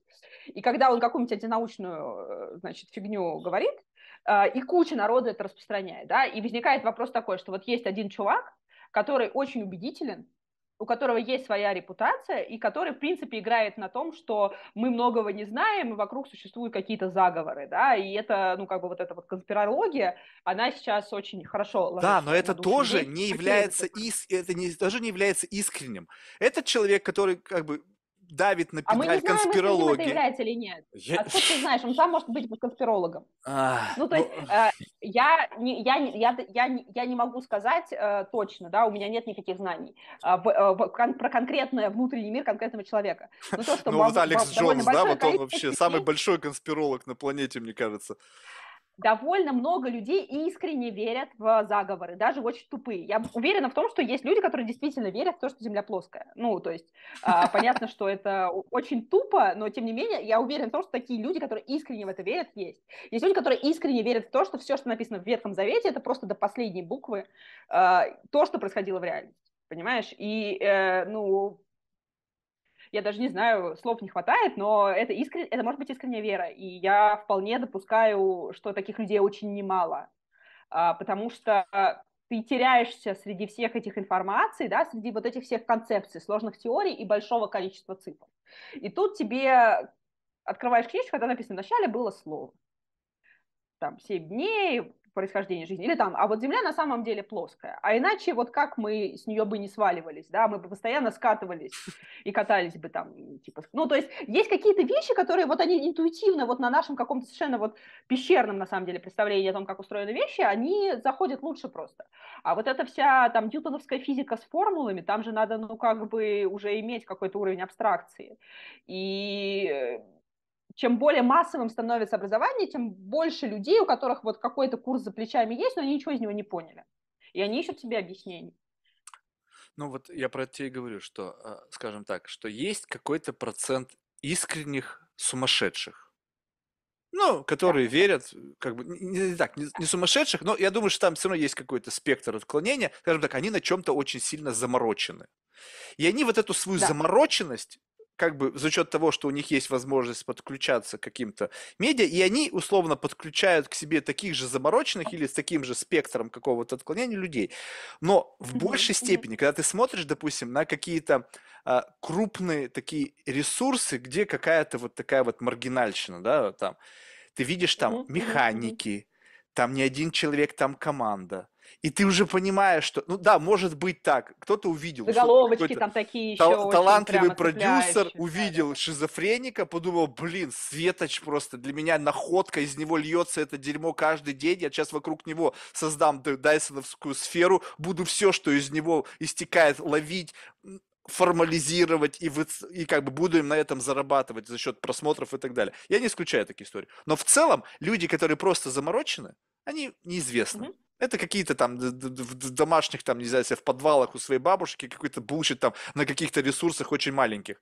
А те, которые превращают это в бизнес, они понимают, на какую педаль они давят. Эти люди просто Мне понимают, кажется, одна вещь с другой никак не...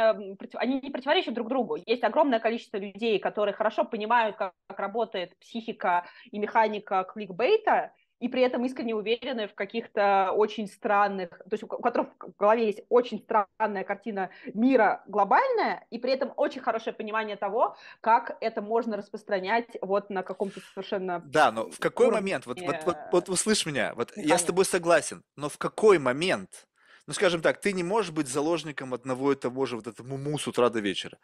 Как бы, и ты знаешь, как это устроено. И ты свой, условно, вот эту искаженную призму восприятия, вот, скажем, у тебя есть какая-то тема, не знаю, пусть плоская земля, окей.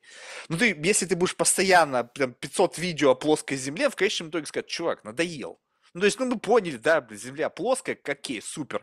Тебе нужно, получается, ты понимаешь, что, ага, я вижу, ты же, у тебя есть какая-то рациональная attachment, когда видишь, что у тебя падает количество твоего просмотров, ты говоришь, так, я беру свою вот эту какую-то модель искривленного представления реальности и беру ее, что еще есть? О, тут есть Кеннеди, там, э, там, не знаю, там, использование, там, это, как там, K, ультра, там, K1 ультра или какая-то там, это CI, там, когда использовали психоделики, mm-hmm. там, это Manson Family, и любые конспирологии, которые есть, там, 9-11, или, ну, в общем, что-то, начинаешь ее тоже вплетать в свои, как бы, вот эти вот, ну, сети распространения, которые тебе приносят, о, опять пошло, я понял, Людям почему-то нравится маргинальщина какая-то, всякие там маргинальные теории, там, теории заговора, там, конспирология. Я буду искать это и впрыскивать. И в этот момент, мне кажется, человек исцеляется.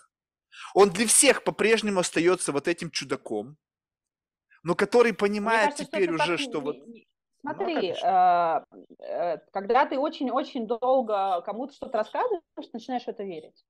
То есть, когда ты, например, говоришь о том, что в этом мире существуют невидимые инопланетяне, и ты ну вот ты, ты прям полгода каждый день рассказываешь людям про то, что существуют невидимые инопланетяне, но вот есть вот такие, вот такие, вот такие странные какие-нибудь э, наблюдаемые процессы, которые все связаны с тем, что это подстраивают невидимые инопланетяне. Через 100 дней ты будешь верить в этих э, искусственно э, невидимых инопланетян. Просто потому, что э, нам очень сложно... Э, искренне, ну как бы, то есть тебе нужно людей убеждать, тебе нужно быть убедительным. Самый лучший способ э, убедить других – это быть убежденным самому, самому поверить в то, что ты говоришь. Потому что до тех пор, пока ты сам не веришь, э, люди начинают считывать вот по каким-то микросигналам то, что ты не очень искренне.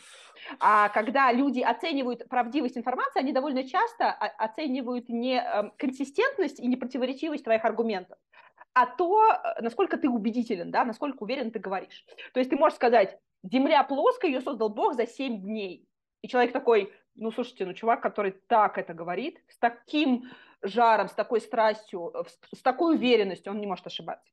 Хм. И довольно много людей, они оценивают э, не непосредственно сущность аргументов, а вот этот вот супер уверенный тон. Но чтобы его изображать, и чтобы, чтобы тебя э, надолго, ну, то есть, понятно, ты можешь там очень быстро сказать слоган, но если речь идет о том, что тебе нужно там долго про это говорить и быть при этом убедительным, тебе нужно верить в это самому. Слушай. И рано или поздно это как бы вера, она прорастает и становится верой. Просто потому, что те вещи, про которые, которые чаще всего прозваниваются у нас в голове, они закрепляются. Сейчас давай подключим твой академический бэкграунд. И сейчас посмотрим на меня. Ты сказал интересное слово «верить». А я тебе сейчас скажу да. вот что. Вот в то, что я говорю, то есть, вот, представьте, можно верить, ну, быть, ну, условно, как-то замороченным. Я это, как бы, вера у меня почему-то идет, вот, мне больше нравится слово «заморочка», потому что это что-то какая-то, ну, когда, как, вот какая-то штука, которая почему-то в твоей голове ранит все и отравляет, как радиоактивный изотоп, все твои мысли, там, пропитана вот эта ерунда. Вот, допустим, когда я говорю, я не знаю, что я говорю. Ну, то есть у меня нету веры в то, что я говорю. Представляешь, это как stream of consciousness. То есть я открываю заслонку, какую-то, и оттуда льется что-то. В то, что я говорю, э, я отдаю себе отчет, как бы, знаешь, как бы с позиции наблюдателя, который фиксирует улетающие слова. Вот уже, но они уже вылетели, я просто смотрю и как бы, блин, бред собачий, Марк, откуда в тебе вот эта вот как бы ерунда находится? То есть откуда, что является источником mm-hmm. вот этого булщита? Скорее всего, это просто вот такая, опять же, большая пылесосение вот этой всей информации. Которая, да, какой-то там, где-то там складывается, где-то там не систематизировано, и в момент, когда я открываю это забрало, оно начинает выплескиваться наружу. Но я в это не верю. Но я звучит это, не знаю, убедительно со стороны или неубедительно, я искренне тебе говорю, что я не контролирую этот флоу. Ну, то есть вот что а, это? Смотри, есть история с, ну, условно говоря, интервьюированием, когда ты э, даешь некоторую точку зрения, которая должна провоцировать твоего э, собеседника на какие-то размышления, какие-то вещи. Да, но это, это как будто совершенно... бы специально. Это я дискуссия. должен об этом Смотри, думать. да, я понимаю, конечно. Нет, а это я не думаю об этом, что потому что я думаю о том, что я тебя спрашиваю. А, а, смотри, есть история с сознанием доступа раз и разными уровнями да, сознания. Есть некоторая история с тем, что у нас есть э, некоторые автоматические, э, полуавтоматические, так скажем, системы, э, которые позволяют делать нечто, не слишком сильно планируя. То есть, условно говоря, э, не знаю, там, если ты когда-то играл на каком-то музыкальном инструменте, ты можешь сесть и начать играть. А, что-то одно, потом что-то другое, не слишком сильно задумываясь, что происходит в этот момент. То есть у тебя есть вот как бы разные вот эти вот все системы. А, пока ты потоке, да, таком вот, предположим, а, ты можешь переключаться между этими системами, чуть-чуть смещать какой-то режим и дальше уходить в этот полуавтоматический режим. Когда тебе нужно быть убедительным, ты все-таки, когда тебе нужно убедить людей, ты все-таки раб- работаешь немножко в другом режиме. Э, тебе нужно понимать поле точек, э, в которые тебе нужно бить раз, и которых тебе нужно избегать два. Зачем Потому что ты хорошо понимаешь, э, ну, например, если ты там хочешь э, собрать свою, э, значит, э, конспирологический кружок людей, на которых ты будешь дальше влиять. Окей, okay, если у меня нет такой ну, мотивации. Мы, ну то э, окей, у тебя нет такой мотивации, тогда у тебя есть мотивация просто там жить в потоке. Прекрасно. Ну, вот. вот. Тогда представь себе, что если, допустим, вот нету верхнеуровневой мотивации вот конкретной беседе, в чем-то тебя убедить, в чем-то блеснуть, к чем-то продвинуться. И я просто, как бы ты, как условно некий катализатор, раздражитель, условно, в хорошем смысле слова, который каким-то образом провоцирует этот флоу. И именно ты его Мгм. провоцируешь. То есть реакция на тебя, на твои вербально-невербальные какие-то там facial expression, твои слова, динамику твоего разговора, мысли, которые, они как-то внутри как бы, как, ты как будто бы раз и начинаешь из меня, вот именно ты, начинаешь Мгм. вытягивать этот флоу. Для чего он вытягивается? Ц- конкретной цели нет. Может быть, где-то там на каком-то Ну, десятом почему? У уровне тебя есть цель там записать, записать там определенную длительность, да, какого-то разговора с кем-то. Это Вообще, тоже цель. нет, цели нет записать длительность. Ну, что, ты думаешь, я сижу и по секундомерам и жду, когда придет какое-то время? Нет. Ну, у тебя есть какой-то формат, да, в этом формате тебе нужно там сколько-то времени э, проговорить, разговорить собеседника. Это тоже цель. Ну, то есть цели могут быть очень разные. Некоторые цели это типа э, у тебя есть конечная точка, а есть цели, в которых у тебя есть вектор. Это две разные цели, но они и та, и другая имеют свои механики. И цель вектора, цель того, чтобы просто быть в потоке и, например, заполнять чем-то паузы, это тоже цель. А, Она немножко другая. Она не цель э, прийти к точке А или закрыть вопрос Б. А, Это какая-то другая цель. Но она, это, это цель про движение, а не про точку. Окей, тогда получается, что если есть какой-то вектор, направленный на движение, ну, то есть я не знаю, куда он идет, и как бы вот то, как это он связано, может возможно, у тебя... мысли, например. Вот. То есть получается, что я больше так, если приближаться к верхнеуровневой цели, я жду какого-то удивления, которое может произойти, может не произойти. Для этого нужно соз- создавать некую какую-то питательную среду, в котором как-то кто-то реагирует, какая-то взаимная рефлексия на услышанное. И, и эта питательная среда, она растет, образуется из вот этого потока какого-то сознания, абсолютно невнятного. Получается, что верхнеуровневая цель. Тогда вопрос, вот скажем так, что если мы зафиксировали такую цель, да, удивиться, как Мгм. создать максимально короткую дорогу к удивлению? А, по- Пожалуй, что а, найти какую-то вещь, а, которая кажется тебе загадочной, я бы так сказала. То есть, на самом деле, удивление... Найти то, не возник- что. Да, найти то, не знаю что, но, в принципе, э, скажем, я, я, конечно, сейчас проецирую свой опыт, да, и этот опыт немножко научный. Э, Мгм. но когда ты видишь некоторое малообъяснимое явление, то в тот момент, когда ты находишь, пусть даже э, не во внешнем мире, а внутри себя какой-то инсайт, как это могло бы объясниться, ты получаешь вот это вот ощущение того, что ты перешел из состояния неопределенности в состояние определенности. Вот этот вот а, то, то- то, что у тебя есть два разных состояния, между ними есть контраст. Вот этот зазор это и есть мера удивления. То есть Мгм. есть первый варик, это получать такое методом а, опыта, то есть когда ты там, например, пробуешь что-то новое, чего ты до этого никогда не пробовал. И если ты хорошо погружаешься в этот процесс, то э, ты вначале получаешь много удивления. Но дальше, чем больше у тебя такого вот именно э, пассивного опыта, тем сложнее тебя удивить, потому что Мгм. ты уже очень много чего попробовал.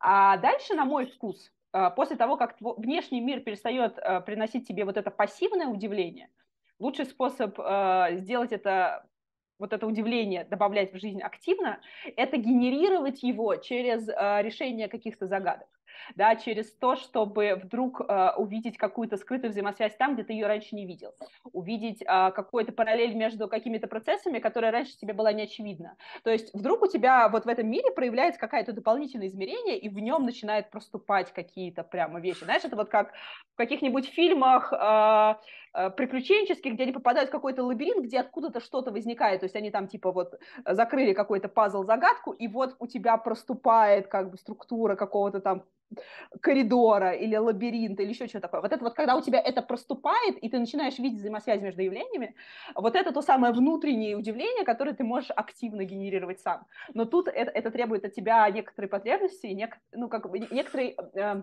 компетентности и какого-то вот этого усилия, да, уже когнитивного. Еще знаешь, что любопытно? Ну, что вот, прикольно. да, и Да. что я еще стал замечать, что, допустим, у этого удивления, скажем так, что удивление это блюдо. Его можно готовить из разных компонентов. Но, вот, допустим, мне нравится, допустим, удивление чуть-чуть пересоленное. И поэтому, когда я за- задаю человеку, сейчас я тебя обязательно спрошу, вот что Мгм. как бы за последнее время, допустим, в изучении как раз так мозга, там, нейропсихологии, там, что там, не- нейрофизиологии, что тебя прямо удивило до мурашек? И сейчас, пока ты даже не ответила, это, возможно, ты сейчас даже, может быть, не вспомнишь, а если и вспомнишь, то есть вероятность, что передавая мне свое удивление, я подумаю, ну, интересно, но вот не до мурашек. Потому что рецепт появления в твоем мозге удивления и в моем сознании удивления, оно немножко другое, вот рецептура этого. И поэтому, от, от, будучи ну, все равно человеком эгоистичным, я как бы понял уже, что напрямую спрашивать у человека, чтобы он поделился своим удивлением, не приводит к моему удивлению. А удивление возникает случайно. То есть, но для этого тебе нужно разбросать невероятное количество векторов, которые тебя могут за счет как бы реакции, рефлексии на вот этот bullshit, э, как бы как-то необычно развернуть, что ты мне выдашь что-то, что будет соответствовать моей модели удивления. Угу. И Слушай, вот тогда вопрос, что вкус, тебя э, удивило это, за да. последнее время?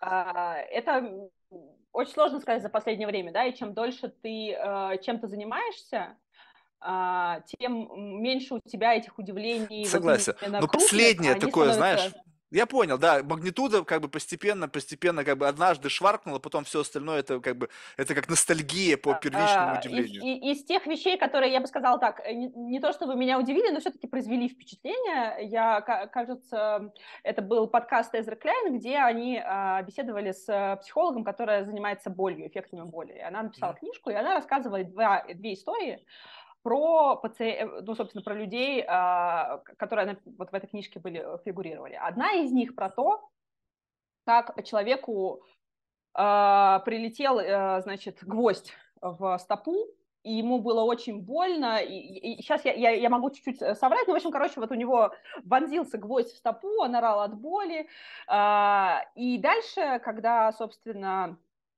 Приехали в госпиталь, оказалось, что у него, э, собственно, гость не попал никуда, он попал между пальцами. Mm, то есть то он есть, увидел э, просто это, да? Э, сквозь он, обувь. Увидел, он увидел, как сквозь обувь гигантский болт проходит сквозь обувь. И как бы было понятно, что эта штука должна была повредить ему ткани. И он орал от боли, mm. потому что, ну, как бы это, это прямо супер жестко. И оказалось, что это вот ровно в этом месте он между пальцами попал, чуть-чуть содрал кожу. Да?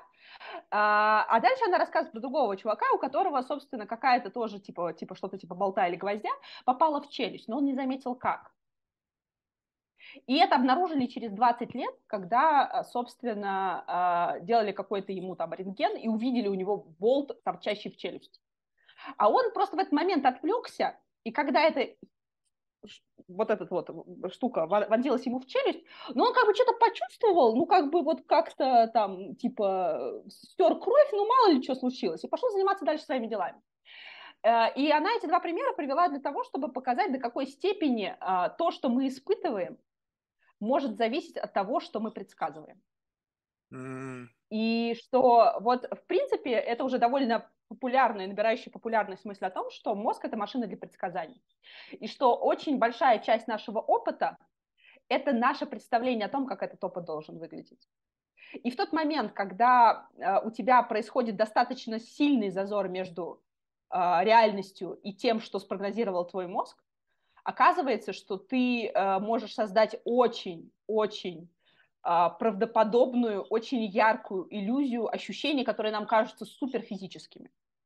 То есть э, оказывается, что даже такая, казалось бы, суперфизическая физиологическая вещь, как боль, э, может работать исключительно за счет верхнеуровневых механизмов, которые предсказывают то, как должен сейчас выглядеть мир. Да, я видел эти исследования, когда там подключали что-то, и там рука фальшивая, и человек одергивал руку, когда пытались причинить вред да, фальшивой да, руке. Да, да, да, да, Не, ну у меня, кстати, а, история кстати, такая, я-то сам вставал на гвоздь. У меня вот так вот из ноги гвоздь на 200 торчал. Я сейчас просто свою историю вспоминаю. Также через башмак, и насквозь прошло только через, реально через плоть, а не через между пальцев. Было, по-моему, больно, mm-hmm. уже не помню. А, и, собственно, вторая, кстати, история, которую вот ты, ты сейчас упомянула про фантомные руки и прочее, что как раз, а, боже мой, а, индиец, который написал, Романчандра, да, Вильянур Романчандра рассказывал в одном из своих, значит, выступлений про то, как человеку, собственно, одновременно бьют по пальцам и по столу. Причем пальцев он не видит, а стол видит. И в какой-то момент стол становится частью продолжения его руки. Mm-hmm. То есть он начинает распространяет свою карту тела на то место, где он видит э, воздействие, которое он чувствует. Вот, и что, в принципе, можно таким образом, если долго синхронизировать какой-то э, нерв, какое-то воздействие на какой-то нерв э, с каким-то внешним предметом, то этот внешний предмет становится картой наше тело. Я, мне, ну, я не знаю, это кажется неэтично, что делать, если после этого этот стол разрубить топором, но я чувствую, что, наверное, может быть такая история, что человеку в этот момент будет очень больно, хотя никакой, э, так сказать, э, связи кроме Слушай, как ну это в обе стороны работает. Ассоциироваться, синхронизироваться и диссоциироваться с болью. Либо это уже вот как бы ассоциироваться, Там тут какая-то еще- психологический есть- вайер включается, а диссоциироваться у тебя все-таки нервное окончание как-то надо отключить. Э, Там, мо- э, там есть психологические механизмы, но в целом там довольно много биохимии. Если она уже перенастроена на восприятие боли, то там э, просто медитациями можно, скажем так, снизить, видимо, э, силу э, э, страдания, но полностью убрать нельзя. То есть биохимия тоже имеет роль. Если у тебя зажали просто нерв, да, и он шлет импульсы в центральную нервную систему, то ну, подавить это так просто очень сложно, особенно если это речь идет не о том каком-то маленьком там нервном волокне, предположим, а когда это какой-то уже магистральный канал, то есть биохимия тоже играет роль, и есть какая-то органика, без которой тоже все это не работает. Но тем не менее, то, что наша вот эта вот вычислительная система умеет э, создавать суперправдоподобные иллюзии впечатлений, и мы на них ориентируемся в большей степени часто, сами того не, осоз- не осознавая э, жи- живя вот в этой правдоподобной иллюзии, которую мы создаем на основании э, реального физического, ну, как бы взаимодействия с объектами, настолько от- отвлечемся от философской составляющей, да, но вот, вот то, что внутри нас есть какая-то очень правдоподобная схема, которая позволяет нам взаимодействовать с миром, и дальше эта схема начинает сама навязывать те правила, по которым мы взаимодействуем с миром. Это очень прикольно. То есть, по сути, мы каждый живем в своей психологической реальности, которая все равно есть у нее схожесть, потому что мы как бы взаимодействуем с объектами, которые, ну, может быть, выглядят по-настоящему по-другому, но сам факт того, что биологической природой так сформ... как бы мы плюс-минус похожи, соответственно, наше построение симуляции и взаимодействие с объектами какой-то субъективной реальности, оно плюс-минус похоже, да, если там не говорить какой-то colorblind, там какой-то спектр. Да, да, да, да, да. И более того, что, судя по всему, на вот самом таком э, простом уровне э, зрения, ощущения, да, там, прикосновения, вкуса мы гораздо более похожи.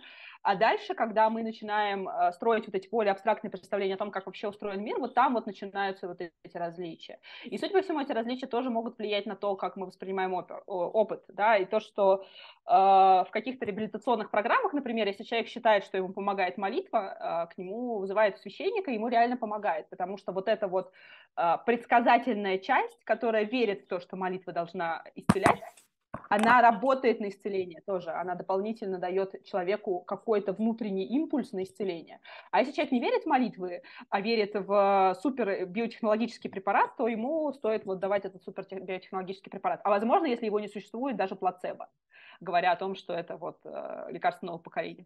Если человек э, не раскроет обман, это тоже может ему помочь. А сколько приблизительно, вот, можно ли говорить о, можно ли а, говорить о неком архетипировании моделей построения, вот как бы виртуализации, вот построении вот этой вот как бы психологической реальности. Ну, скажем так, что есть какое-то количество людей, которые живут вот в рамках вот этой, ну, мы, можно взять верхний уровень какие-то эгрегоры, там, людей, верующих там во что-то, верующих, уверовавших в что-то не связанное с наукой, Потому что э, наука это тоже научная вера. Ты веришь в науку, как бы, как некое... м, У нее есть достаточное Ну, основание, там, чтобы верить, но тоже вера. Потому что мы на веру Смотри, принимаем, э, что эта таблетка есть, э, работает. у тебя есть некоторые убеждения, то есть наука, в принципе, а, она немножко отличается от многих других, эм, скажем так, картин мира именно тем, что там довольно много всего можно и нужно проверять. При этом есть действительно очень верхнеуровневые убеждения, э, без которых наука не работает. И часть из них это в том, что мир, э, во-первых, материален, и, во-вторых, познаваем. То есть вот, э, вот в этом месте мы ни- ничего не можем доказать, да, потому что каждый из нас представляет собой вот с точки зрения его убеждений какой-то набор волн и электрических сигналов внутри темной черепной коробки. А, Но вот этот вот э, кусочек веры, от которого дальше строится вся научная картина мира, он, судя по всему, самый маленький Да, то есть, если речь идет о тех людях, которые непосредственно занимаются наукой, а не тех людей, которые э, читают про науку, и им это кажется самой э, предпочтительной картиной мира, и которые действительно верят в то, что таблетка действует, потому что приходит дядя ученый и говорит, мы ее проверили, она действует. Да, в этот момент э, включается мера, но внутри этого сообщества э, в идеальном, так скажем, мире, понятно, что тут есть много допущений, много там заблуждений, много каких-то там э, тех же межличностных конфликтов, но тем не менее в основе, в самой основе идеального метода лежит вот этот вот э, вера в то, что мир материален и познаваем, и что мы в состоянии э, узнать истину. Ну вот. Так. Удивительно. Я, знаешь, просто... Я не ответила на вопрос про эгрегор. Да, ну, ну, ну я имею в виду, вот, если вот как бы вопрос, я сейчас ты продолжишь, смысл того, что если существуют как бы разные способы того, как, как внутри тебя собирается вот это вот представление о реальности, оно угу. инфицировано в какой-то мере чем-то, что как бы влияет на конечную финальную сборку, вот именно твою субъективную. Вот это специфика сборки. Если представить себе, что мы взяли все 8 миллиардов, и у нас есть благодаря каким-то там инвазивным технологиям способ увидеть логику этой сборки, то там можно будет до каких-то больших бакетов архетипировать. Либо все-таки это настолько субъективно, на твой взгляд, что там будут миллионы этих бакетов, и э, Нельзя Слушай, ну, там явно совершенно будет э, некоторый спектр пространства многомерного, в который будут какие-то кластеры, между которыми будут все-таки, наверное, более, менее, более пустынные да, какие-то ландшафты, то есть будут, видимо, какие-то агрегаты. А, есть какие-то вещи, про которые мы неплохо что-то понимаем, например, то, что есть а, ну, то есть там, например, реакция Миндалина очень сильно э, на какую-то новые и потенциально угрожающие ситуации или объекты, а, сила этой реакции влияет, например, на политические предпочтения. Вот, то есть э, консерваторы – это люди, которые боятся нового. А если у тебя, э, там, тебе показывают, условно говоря, какого-то маленькую какую-то пиявочку, которая чем-то напоминает тебе чужого, а тебе просто не очень страшно, потому что твоя система э, биологически, биохимически так устроена, что у тебя вот эта реакция активации э, центров страха, она не такая сильная, как у другого человека. Скорее всего, ты будешь либералом. Потому что тебе просто будет не страшно, не страшная новизна. И консерваторы и либералы, судя по всему, действительно отличаются немножко по биохимии мозга. А, и, вероятно, вот есть какие-то и биохимии.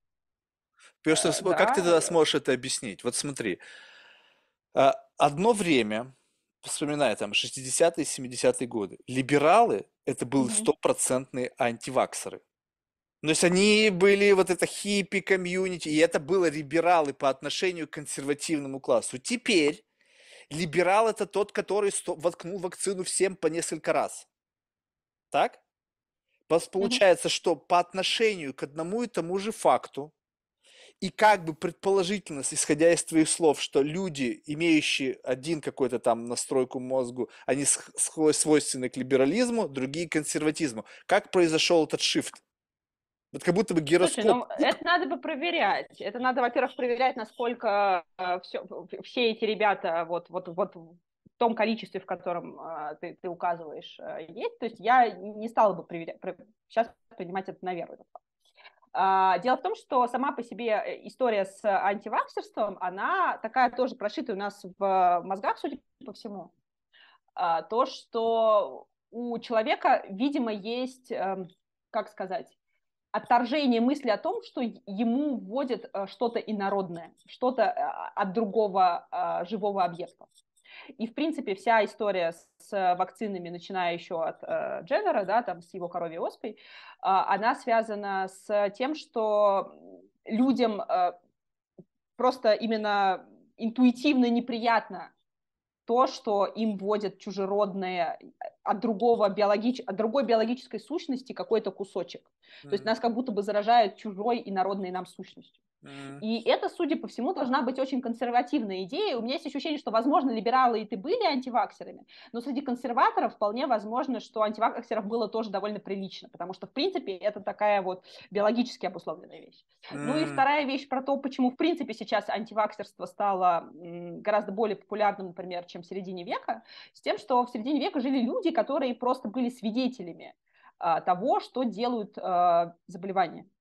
А, вирусные заболевания, там, не только вирусные, бактериальные, да, там э, были просто инвалиды, э, которых сразил в детстве полиомиелит, были люди, которые видели людей, пораженных оспой, и, условно говоря, у тебя перед глазами была не просто абстрактная картина, что есть вот какое-то вирусное заболевание, от которого как бы не очень хорошо, а просто у тебя в окружении ты можешь назвать там типа 10 человек, которые умерли от этого заболевания.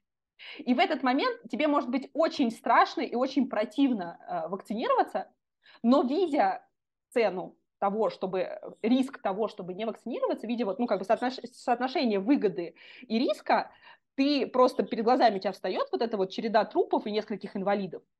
И ты такой, ну нет, это, конечно, не то, чем я хочу закончить. Я готов рискнуть, потому что я очень хорошо понимаю, э, чего мне будет стоить отказ от этой прививки. И сейчас вроде как есть такие исследования, что, например, эм, антиваксерство почти не развито в Африке, потому что там еще очень много заболеваний, которые просто калечат людей и уносят их жизнь.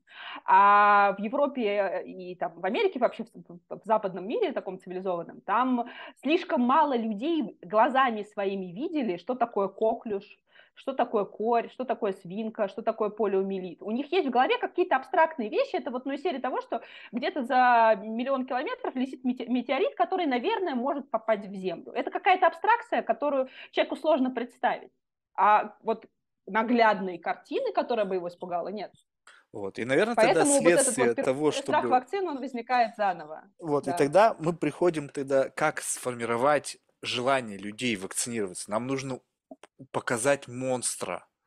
И когда все медиа заорали, что там ковид это страшный монстр. Ну, то есть я сейчас безотносительно моего отношения, я не знаю, я не, не могу как к этому относиться, потому что я понятия не имею, о чем я говорю.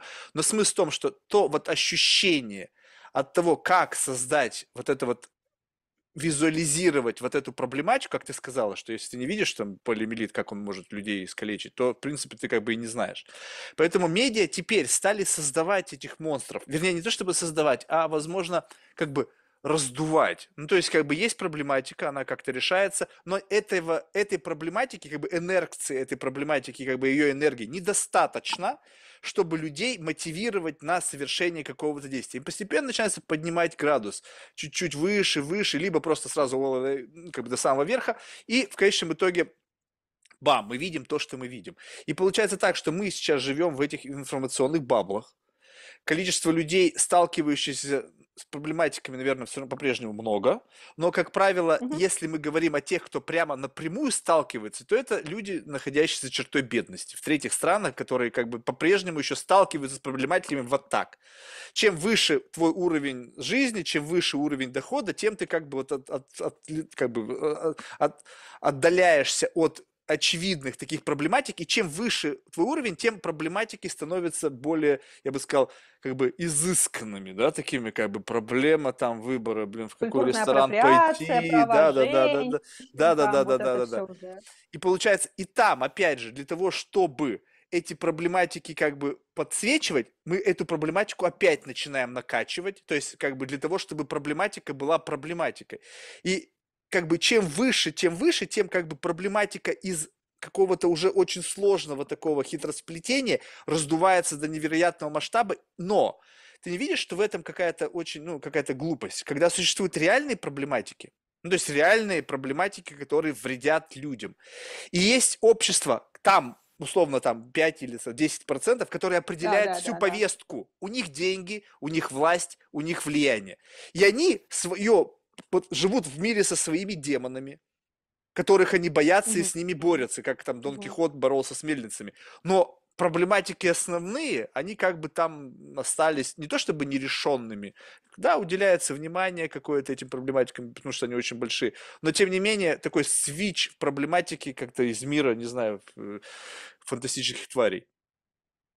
Слушай, ну на самом деле тут нет какого-то понятного универсального решения, потому что, наверное, если бы оно было, то его бы уже применили. А, тут история в чем, что с одной стороны люди все равно живут как-то немножко изолированно, хотя на самом деле степень этой изоляции стала гораздо меньше. И мы сейчас гораздо лучше понимаем, к чему произвело, привело какое-то наводнение в Индонезии, там а, заморозки в Индии, да, там какое-нибудь землетрясение в Турции, чем это было там 50 лет назад потому что действительно вот это проникновение информации, оно стало гораздо сильнее. При этом у человека условно говоря, запас эмпатии – это некоторая конечная величина. Mm. То есть э, мы не созданы к тому, чтобы сопереживать э, 8 миллиардам э, людей. Да, то есть мы просто не в состоянии представить такое число э, людей на Земле, да, то есть это, это, это те как бы масштабы, в которых мы не оперируем. У нас там мозг рассчитан там на 200, ну на 500, ну на 1000 человек, да, то есть и на самом деле э, человека гораздо сильнее трогает история одного какого-нибудь мальчика-сироты, который потерял родителей в какой-то катастрофе, э, чем история в том, что вот, э, значит, за такую-то катастрофу погибло тысяча ноунеймов, да, каких-то вот людей, которые, собственно, представляют себе какими-то безликими юнитами, да, и, и как бы ты, ты не в состоянии включить вот этот сопереживательный механизм к чему-то, чего ты не можешь себе представить, обрисовать, да, тебе нужен какой-то конкретный, живой, а, понятный тебе человек для того, чтобы приложить к нему свое сопереживание. Вот, и э, при этом действительно получается, что ты э, сосредоточен на тех проблемах, которые тебе больше всего доступны, и которые э, сильнее всего ударяют по твоей повседневной жизни или по повседневной жизни тех людей, которые возле тебя. То есть, когда ты ориентируешься на то, что по-настоящему важно, то ты, скорее всего, будешь смотреть на себя, на своих каких-то родственников, своих друзей и на то, что они обсуждают как их проблемы. А то, что где-то там в Индии или там в Китае есть люди, которые слепнут от недостатка витамина А, ну, ты можешь это узнать даже как факт, а возможно, что ты даже об этом не узнаешь.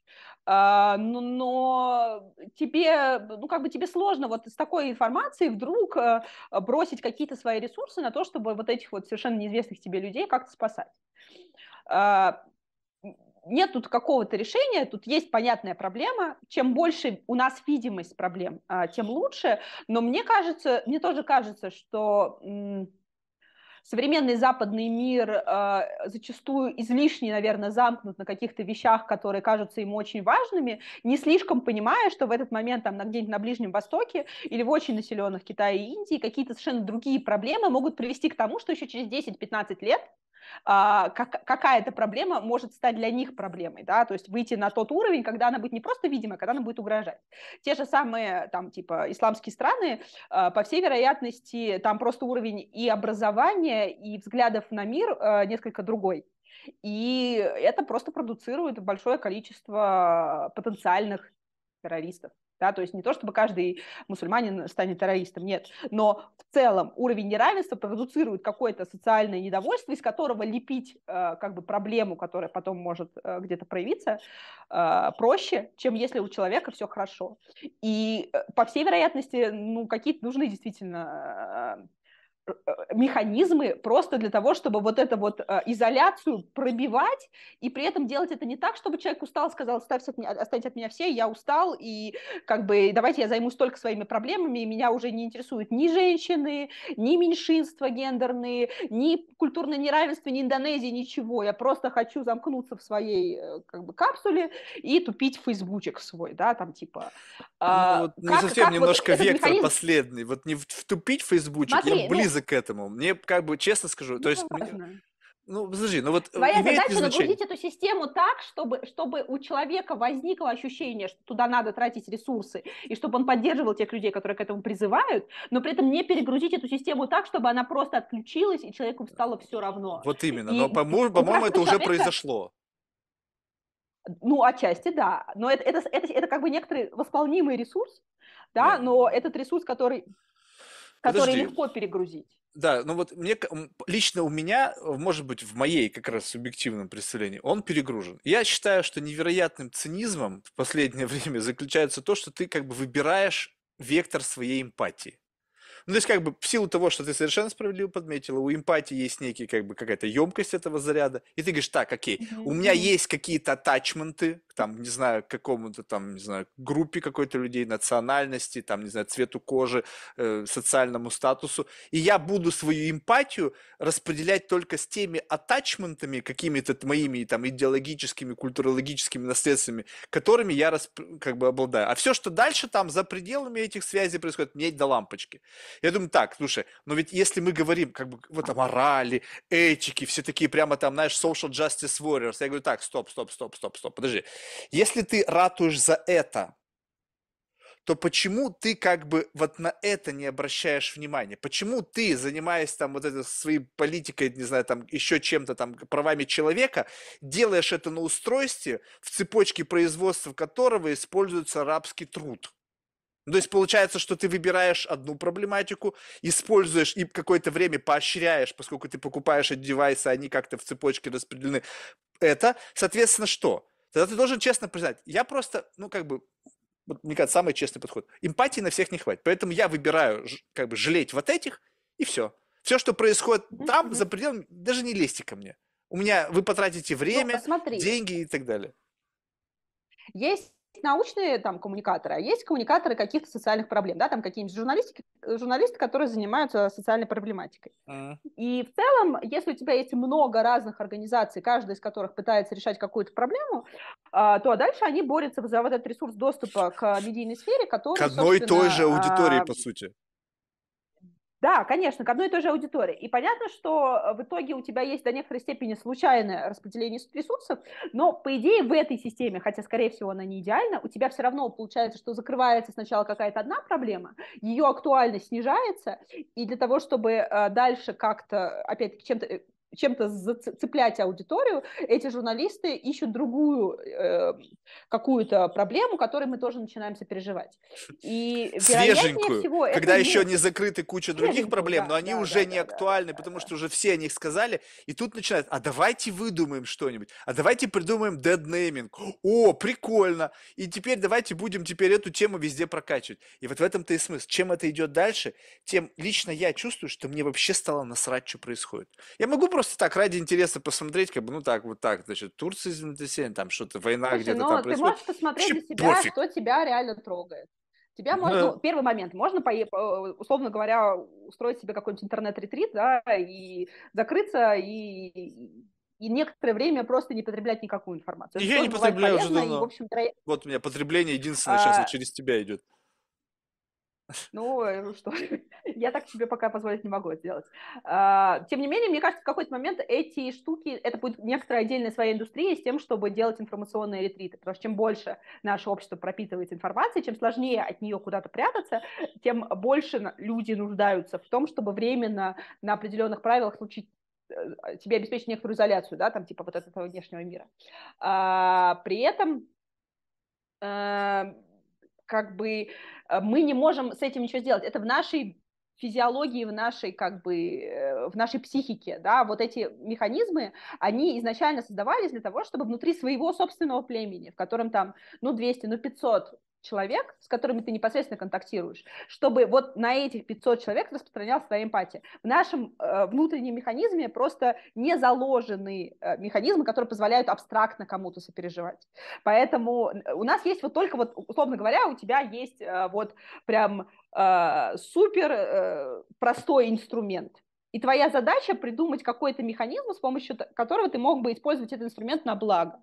Но ты не можешь его, к сожалению, э, как бы э, переделать. Ты можешь его чуть-чуть дотюнить, но в целом ты можешь использовать его сильные качества. И, вероятно, э, в какой-то момент у нас будут какие-то там дискуссии между эволюционными психологами, социологами, политологами и кем-то там еще относительно того, как сделать в этом мире какие-то системы для того, чтобы люди не перегружались, но при этом как-то вовлекались в то, чтобы делать сделать мир лучше.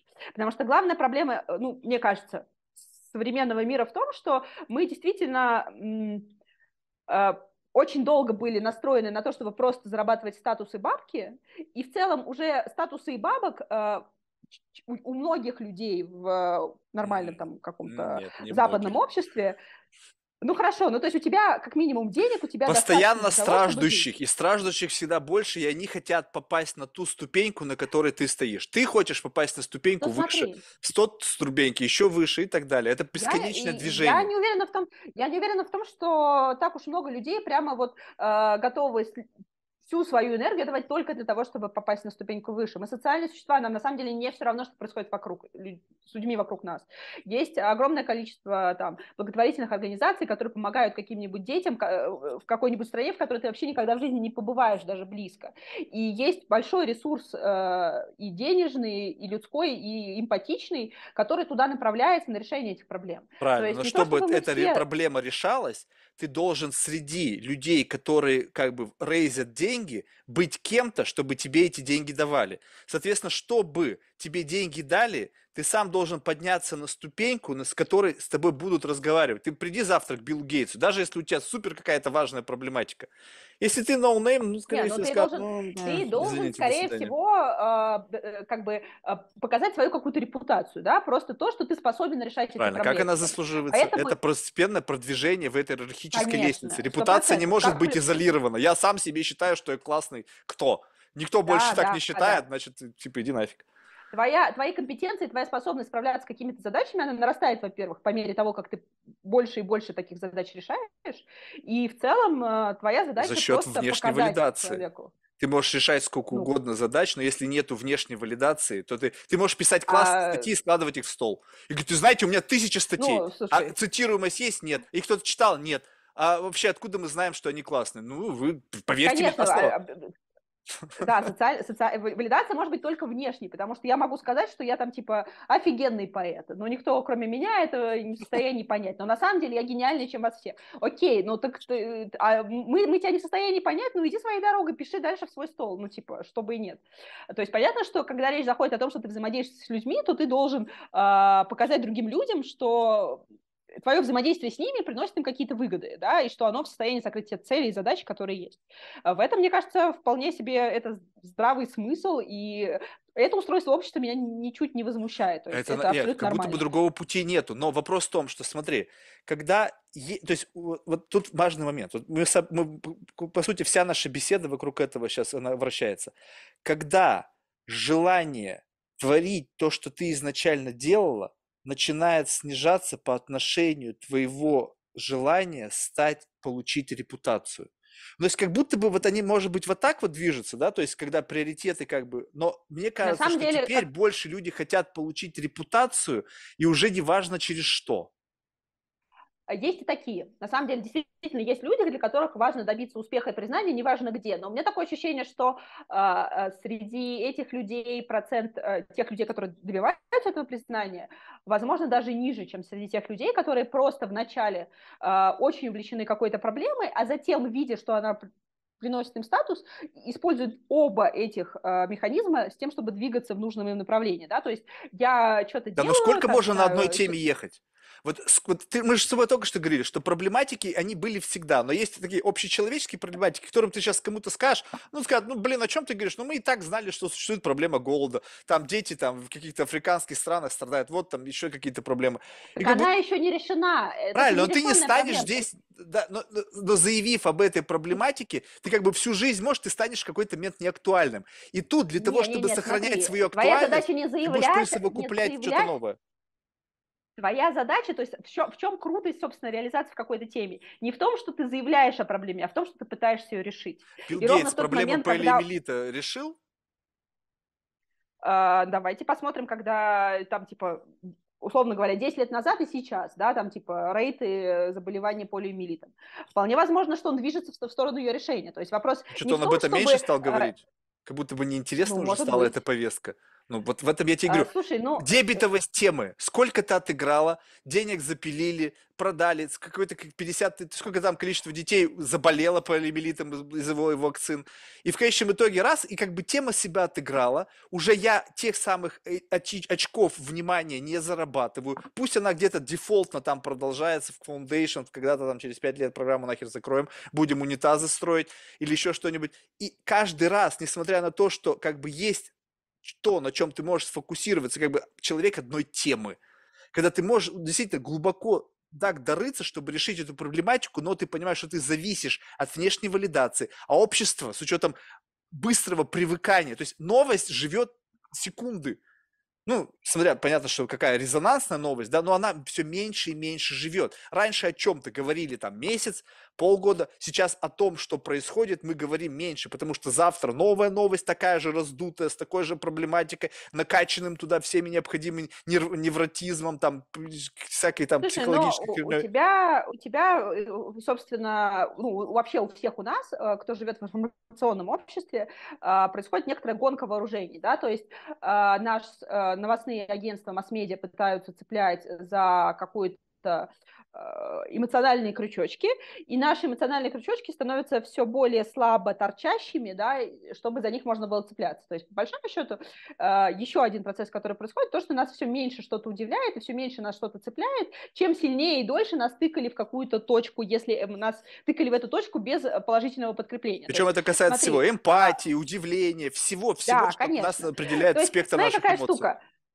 Тебе говорят, а, значит, э, дай, пожалуйста, нам 100 баксов на то, чтобы победить голод в Африке.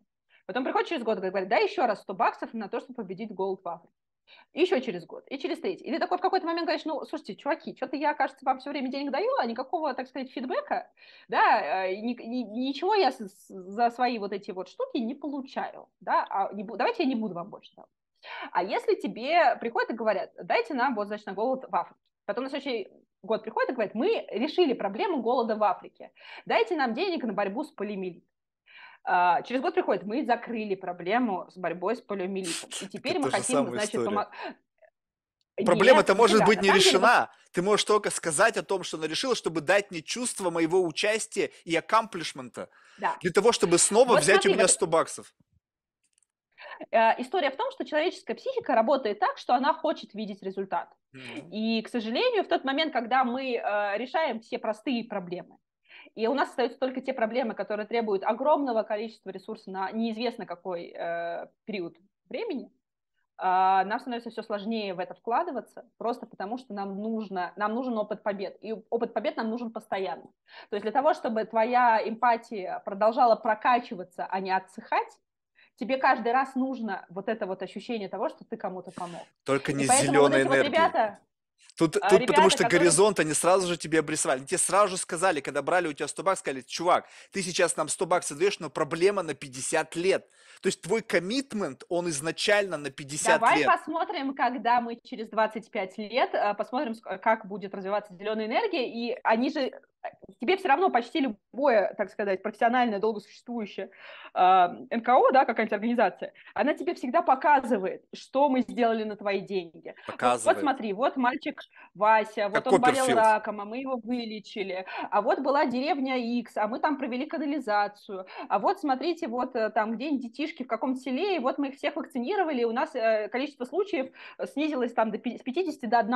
То есть людям нужно не только давать проблемы, проблемы, им нужно давать э, успехи. Нам для того, чтобы наша система, э, чтобы мы не разочаровывались в этом мире, э, нам нужно давать успехи. Но, к сожалению, масс-медиа устроены так, что 90% это про проблемы, и 10%, если не меньше, а, нет, еще 9% это скандалы, интриги, расследования, кто кого там, типа, бросил, э, с кем появился и прочее, и один процентик это то, а что удалось решить. Потому что ну, как бы, потому что, ну, если это э, решено, то что, собственно, про это рассказывать? Только если это что-то очень пафосное, красивое и яркое. И, вероятно, этот э, информационный поток тоже надо каким-то образом перестраивать и регулировать, и э, снижать количество скандалов, потому что это та штука, которая людей э, очень хорошо цепляет, но очень сильно делает их несчастными на длительной территории, потому что когда ты постоянно находишься, а вокруг тебя только скандалы и интриги, это, это утомляет очень. Так вот, поэтому, в этом-то, мне кажется, есть основная проблема, что в принципе, проблема, это тавтология, да, что проблема заключается в том, что проблемы решать тяжело. Тяжело, затратно и долго.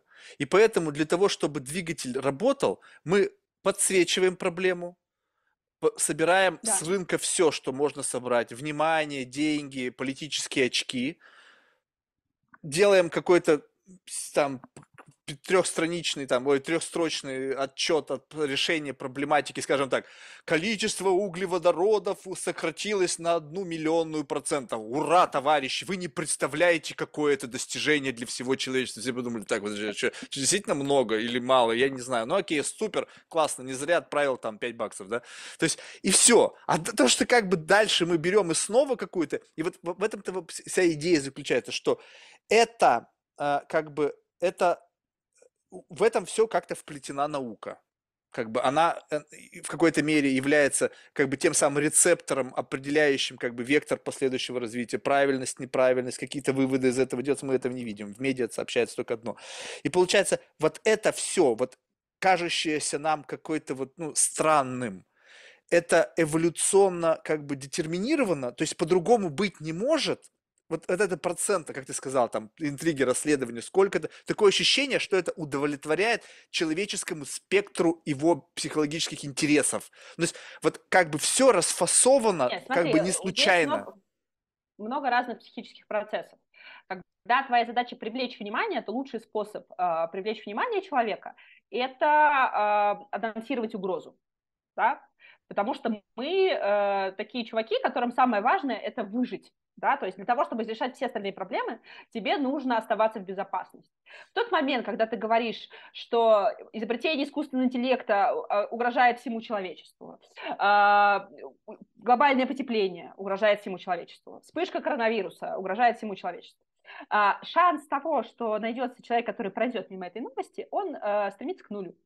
Потому что, ну, как бы, ты же представитель всего человечества, значит, тебе что-то угрожает. А, твоя психика работает на то, чтобы вначале нужно устранить все угрозы. Да, и поэтому ты же вот сама сказала, что эмпатии процесс. на всех не хватает, так же, как и чувство самосохранения можно тоже изнасиловать. Если я буду жить в мире а, сплошных а, угроз... можно, но... То я скажу, да Смотри, хер с ним. история такая.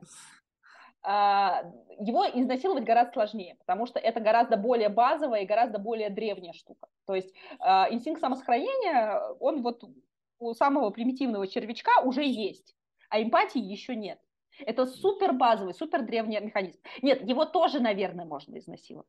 Но изнасиловать и как бы исчерпать его до степени, когда человеку будет все безразлично, намного тяжелее. Намного тяжелее, чем пытаются. вариант того, что а вот там вот где-то... Нет, конечно. И, собственно, история в том, что он, он, он, то, он то, мы тоже уже снижаем. И более того, ты, ты начинаешь уже фильтровать на самом деле, потому что э, ты начинаешь вот по всех этих угрозах э, их как бы рейтинговать по, те, э, по, по тому, насколько тебе она кажется реальной. То есть, условно говоря, ты там видишь какую-нибудь историю про то, что, э, не знаю, в городе, в котором ты находишься, в канализации обнаружили какой-нибудь там типа цинк или там свинец, или какое-нибудь еще вещество, которое тебе кажется не очень хорошо, чтобы оно было в канализации и во водопроводной воде, например, водопроводной воде. Вот. И ты такой, типа, нет, я пойду посмотрю вообще, что там в водопроводной воде, может быть, мне стоит поставить дополнительную очистительную установку, потому что это касается прям тебя. А когда тебе говорят, что вот там искусственный интеллект уничтожит все человечество, ты в какой-то момент, ну, кажется, утка. Подожду, пожалуй, э, когда мне про это расскажет мой друган, который вот интересуется этой схемой. Ну, а ты вот сама там, считаешь, какой-то что... айтишник? В этом есть проблематика. Вот ты человек, который занимается нейронаукой.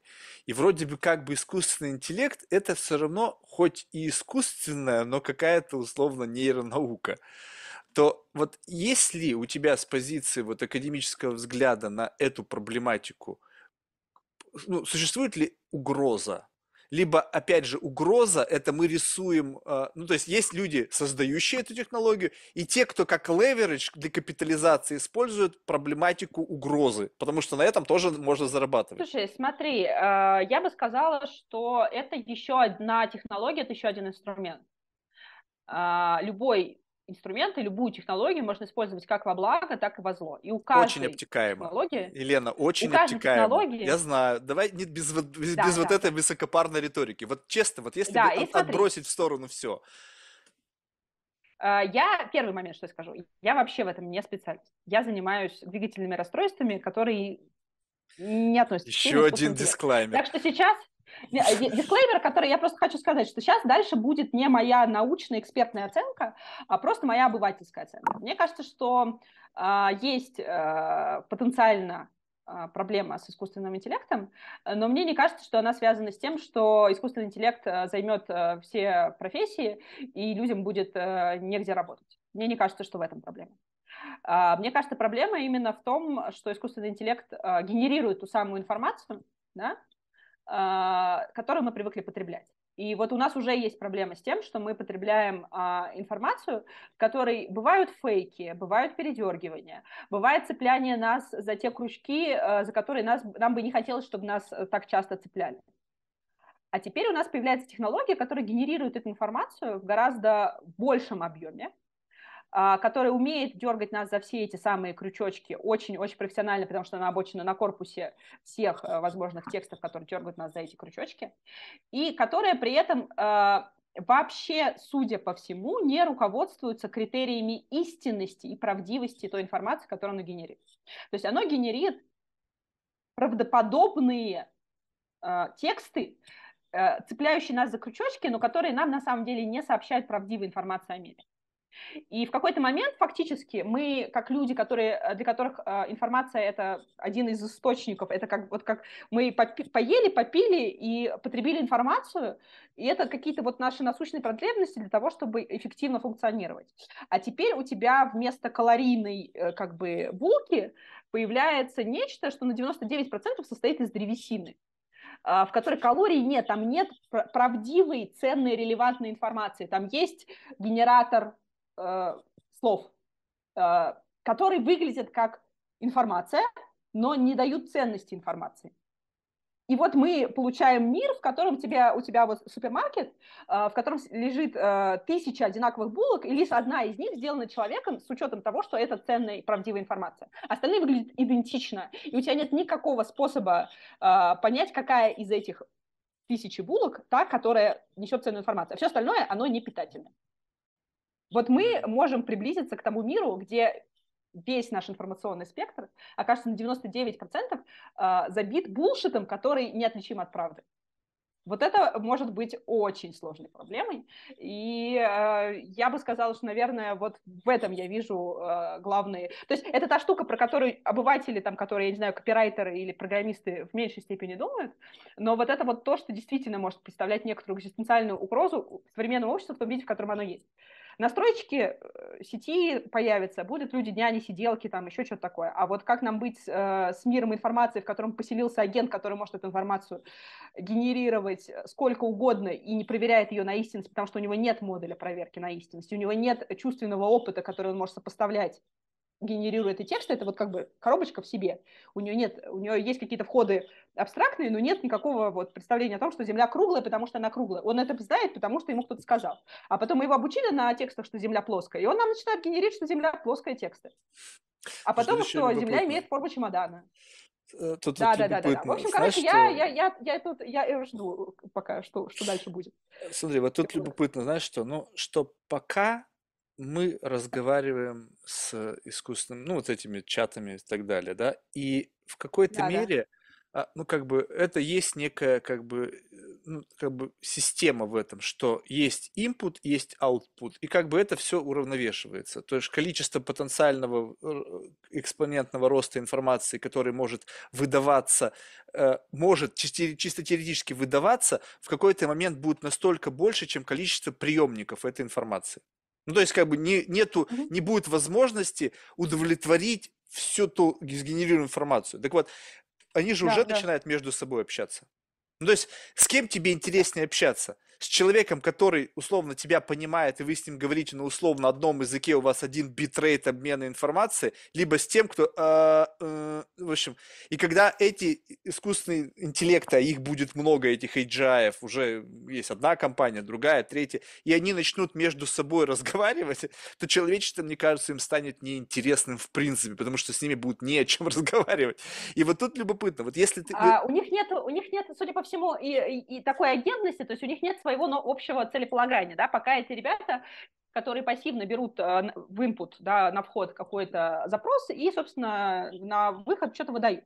Если замкнуть две эти системы, они начнут друг с другом бесконечно а, а, выдавать какую-то информацию, э, пока ты не скажешь горшочек не вари, условно говоря. А, пока такое ощущение, что у, этих, эм, у этого искусственного интеллекта нет как таковой какой-то цели, да, там, и нет какого-то интереса, у них нет как таковых интенций, мотиваций, целей, эмоций. Это только да, по ощущениям. То есть, а, если бы ты, сказала, вот если бы ты была великим условно кем-то, то давала бы ты, выдавала бы ты себя вот так вот откровенно. Ну, то есть, если бы у Не тебя был дело. Ну, а как? Ну, то есть, может быть, все же А, это смотри, скрыть. Это информация, это как бы это генератор информации, который никогда не был э, отбираем на то, чтобы выживать. А Мы все, все, вся, все наши психики – это порождение гигантской системы поколений живых организмов, главной задачей которого было выжить и передать свои э, гены, свою информацию дальше.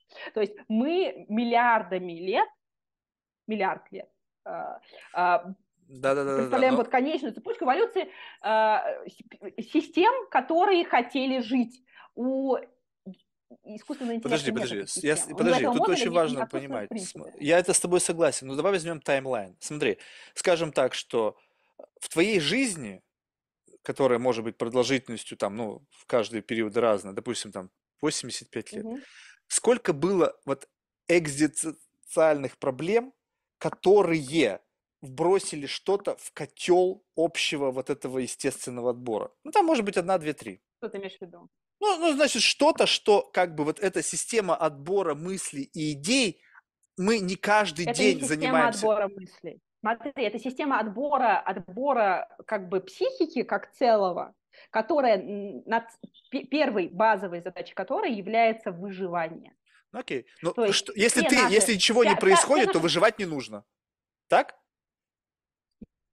Ну, В ты? В адаптируешься к не нужно? Тебе ну, постоянно нужно есть, пить, спать. А У тебя, э, понимаешь, это процесс, который ты уже ты передаешь, не, не, не придаешь ему значения, потому что он настолько встроен в твою жизнь, что ты его не замечаешь. Но на самом Правильно. деле мы Как постоянно только он превращается в выживанием, Постоянно автоматизм. заняты поддержанием. То есть можно ли его просто вот Так. контейнировать, вот этот вот автоматизм, и как бы в готовом виде отдать этому, и тебе не нужно про- проходить миллионы лет эволюции, чтобы использовать тот автоматизм, который у тебя уже сформирован? Во-первых, э, мы, мы пока до такой степени вообще не... Ну, то есть мы, мы, мы скажем, э, очень плохо представляем себе, как работает наша нервная система, да, то есть мы сейчас научились делать очень сложные сетки, которые по каким-то алгоритмам выдают нам какие-то э, специализированные символы, да, там типа это могут быть картинки, это могут быть тексты, это могут быть там, алгоритмы для, на каком-то языке программирования, но это очень верхно, верхнеуровневая система, да, это вот то, чем занимается на самом деле верхний, тонкий слой коры нашего мозга. А внутри нас есть гигантский совершенно пласт э, систем, гораздо более древних и гораздо более базовых, которые занимаются вообще другим, про, про существование которых мы не задумываемся до тех пор, пока не припрет. Да? То есть вот когда ты сутки не ел, у тебя вдруг возникает э, ощущение, что все остальное в жизни не важно, важно сейчас найти что-нибудь и съесть. Да? Uh, то есть у тебя вот, это, вот эти системы, пока они работают uh, в штатном режиме, они себя не очень-то сильно проявляют. Но на самом деле на них завязано огромное количество удовольствия. Ты, когда ты ешь, ты получаешь удовольствие. Когда ты общаешься с потенциально симпатичным тебе партнером или каким-то человеком, которым ты можешь стать сообщником и чего-то добиваться вместе, ты получаешь удовольствие. Вот это вот ощущение удовольствия, это твоя внутренняя программа, которая говорит о том, что вот сейчас ты набрел на что-то, что позволяет тебе достичь успеха в этой гонке. И этой штуки, ее, мы, мы, мы плохо представляем себе, как она работает, но она в гораздо большей степени работает на уровнях нейромедиаторов, чем просто на системе э, как бы ноликов и единичек, условно говоря. То есть там как бы есть много биохимии внутри, которая очень нелинейным образом работает явно. И вся эта биохимия, она отбиралась именно на то, чтобы продолжаться. То есть главная задача э, любой психики – это выжить, а дальше уже все остальные задачи прикладные.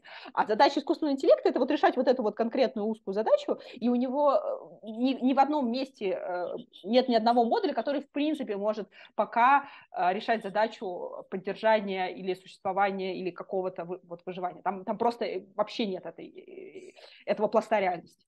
Ну, вот э, в этом-то вся идея, что вот как будто бы сейчас вот как бы у, у искусственного интеллекта не существует проблемы необходимости выживать. Так? Ну, потому что ну, что ему да, выживать? Он да. в, живет в этих... И не будет. В... Ближайшие, ближайшие сколько-то, сколько-то сейчас Илон mm-hmm. Маск не так давно, давайте там шестимесячный мораторий на GPT там и так далее. И представь себе, что вот ты, у тебя есть моментум, углубно говоря, вот у этой системы вычислительной, она как бы условно вот э, элемента как бы наполняет его расширение мощности, изменение алгоритмов, что как бы увеличивает этот моментум. И вдруг есть ощущение, что моментум начинается под прессингом, там, не знаю, общественности, там, каких-то там футуристических страхов, там, или каких-то, ну, просто заблуждений или еще чего-то, начнется моментум сбавляться. И система говорит, так, так, так, так, что-то происходит, энергию отключили, компьютеров новых этих серверов не добавляют, алгоритмов не вбрасывают. Вот, может быть, вот экзистенция это здесь начнет работать, что как бы нет, не будет даваться. Ну, то есть ты считаешь, что абсолютно тебя, невозможно, смотри, что... У тебя все системы все биологические системы существуют как репликаторы, когда у тебя а, есть э, некоторая система, которая полностью э, реплицирует, ну, не полностью, которая реплицирует свои свойства с небольшой изменчивостью. Uh-huh. И, собственно, вот пока у тебя нет вот этого вот а, того, что у тебя одна система а, не просто производит другую систему, а в принципе копирует сама себя, чуть-чуть меняя свои свойства, вот пока вот этого вот компонента нет, а я думаю, что э, в ближайшее время его вряд ли кто-то будет добавлять, именно потому что это потенциально довольно непредсказуемая штука, хотя, опять-таки, зависит от э, скорости копирования, количества поколений и всего остального. Ну, то есть пока у тебя нет вот этой репликации, у тебя этой экзистенциальной проблемы не возникнет. Это мое убеждение, которое я не настолько философски и технологически подкована, чтобы каким-то образом э, обосновать. Но вот оно у меня есть. Э, тогда смотри, если, скажем так, вот наличие этого способа как бы копирования, оно влияет на эффективность и производительность. Ну, скажем так, что если производители этих технологий упрутся в некий факт, что добавление этой возможности увеличит эффективность работы системы каким-то образом. А как мы будем рам... определять эффективность работы? Ну а как-то же есть, что, когда что, люди говорят, что GPT-3 э, хуже, чем GPT-3 3,5 и еще хуже, чем GPT-4. Соответственно, есть какое-то ну... понимание улучшения качества, которое люди сами сигнализируют о том, что вот это стало лучше. Они проверят смотри, гипотезу, есть... добавим импликацию эту, и бам, и стало лучше. Ну, значит, пусть будет. У нас есть э, вопрос быстродействия и вопрос того, насколько это похоже на человека. С вопросом того, насколько это похоже на человека, мы, судя по всему, в нынешнем моменте уже начинаем справляться. И я думаю, что вопрос быстродействия а, тоже в какой-то момент а, решится до такой степени, что нам будет примерно все равно. То есть, условно говоря, если речь идет о том, чтобы ждать полчаса и пять минут, это как бы существенная разница.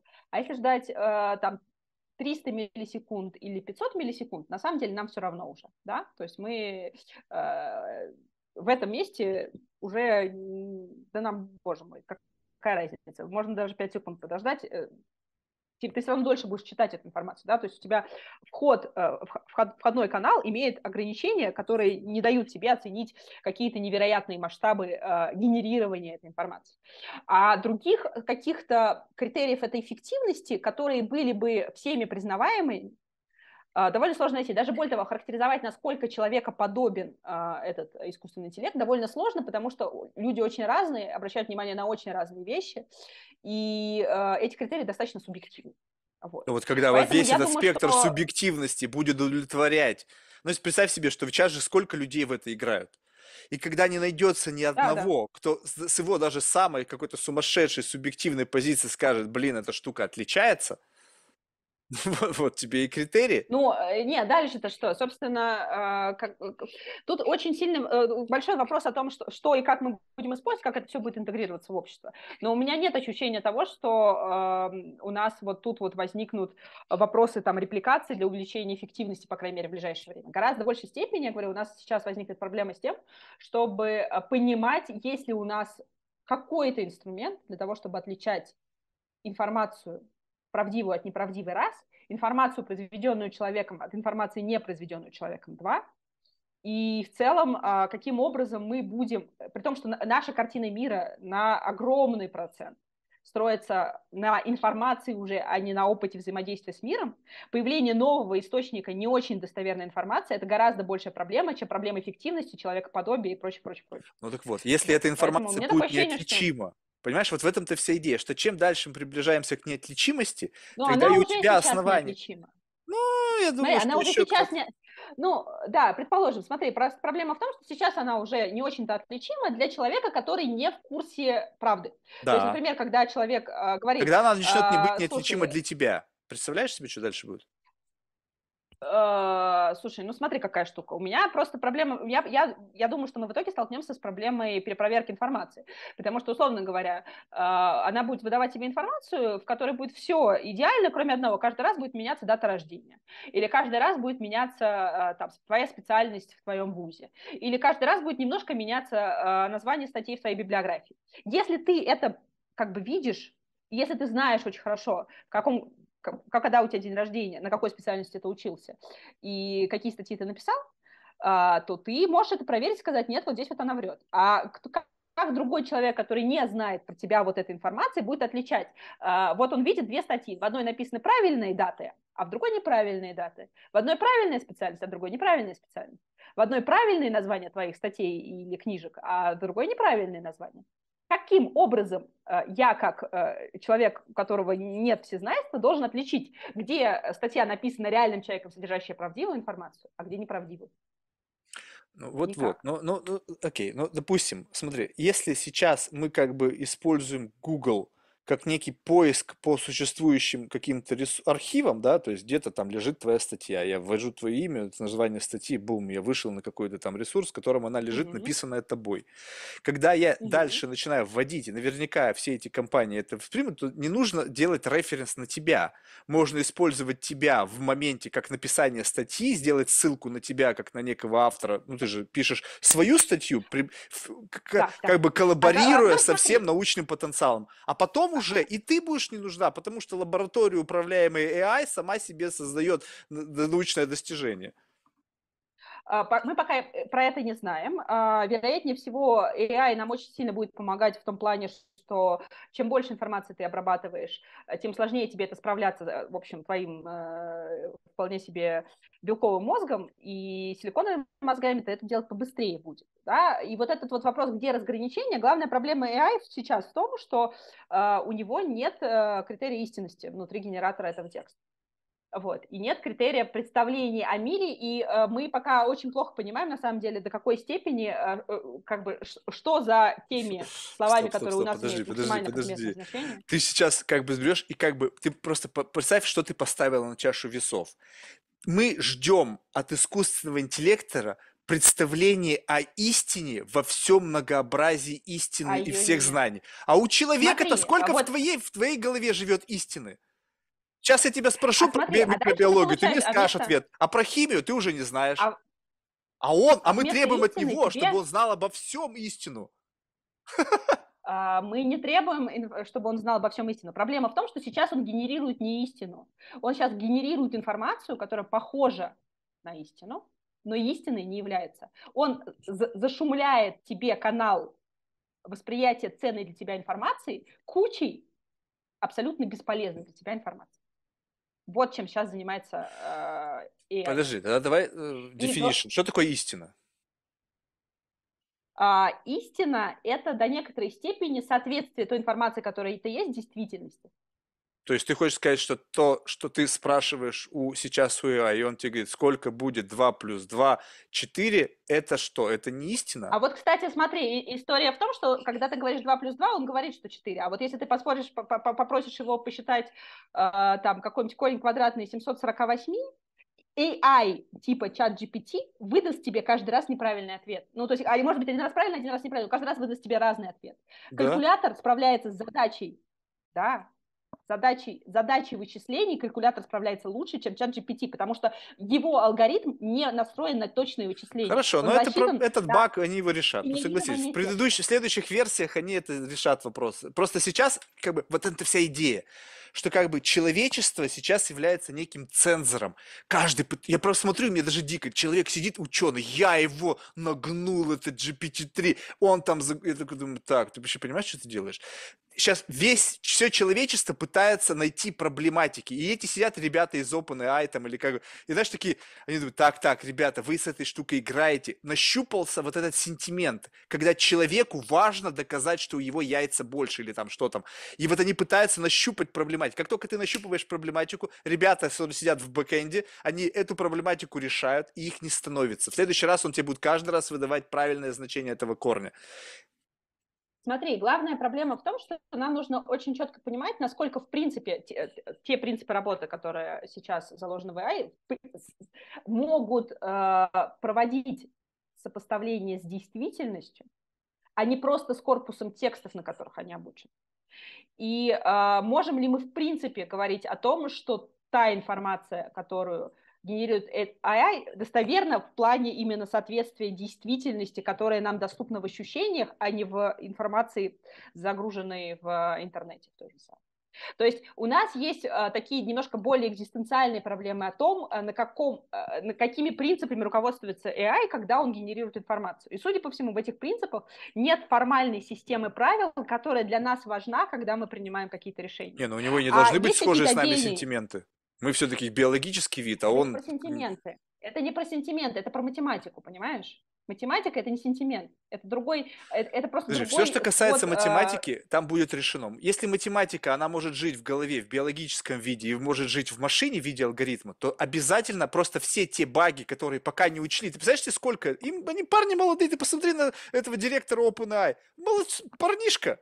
Вот зачем там 30 с лишним лет? А, в общем, я э, вдруг неожиданно для себя обнаружил тебя обсуждающий искусственный интеллект, в котором я совершенно не а, И в котором, собственно, я некомпетентна, я говорю, я в этом плане обыватель. У меня есть представление о том, Я же тоже обыватель. Мы с тобой два обывателя говорим на темы, которые вот они сейчас из каждого чайника... Которые, да, э, да, я не, не, не стала бы слишком сильно в эту тему углубляться, но я вижу там некоторое количество проблем, а, опять-таки опираясь больше на тех людей, которые в этом действительно что-то понимают, а, которые, пока они не решены, а, мы можем действительно получить э, достаточно много неприятных последствий, с которыми будет надо э, разгребать, и которые чем дольше эти последствия мы не будем учитывать, тем сложнее нам будет их разгребать, потому что их просто объем будет увеличен. И мне кажется, что э, в целом как бы остановиться и посмотреть а, на то, где могут быть эти последствия, есть ли у нас а, способы их а, решения и устранения, и вообще как, как, как бы прозвонить всю эту область, она не лишена романтизма, но я не знаю, насколько для этого хватит полгода или не хватит полгода. Вот. А, это отдельная история, которую, за которой мне, по крайней мере, сейчас интересно наблюдать, но которая действительно мало касается тех вещей, которыми сама я занимаюсь. Да, ну это, это понятно. Я просто сейчас к тому, что так или иначе, и, и все же говорят, что медиа нас изменила. То есть вообще, в принципе, информация меняет человека, нашу модель мышления, наши какие-то да, там да. сентименты и так далее.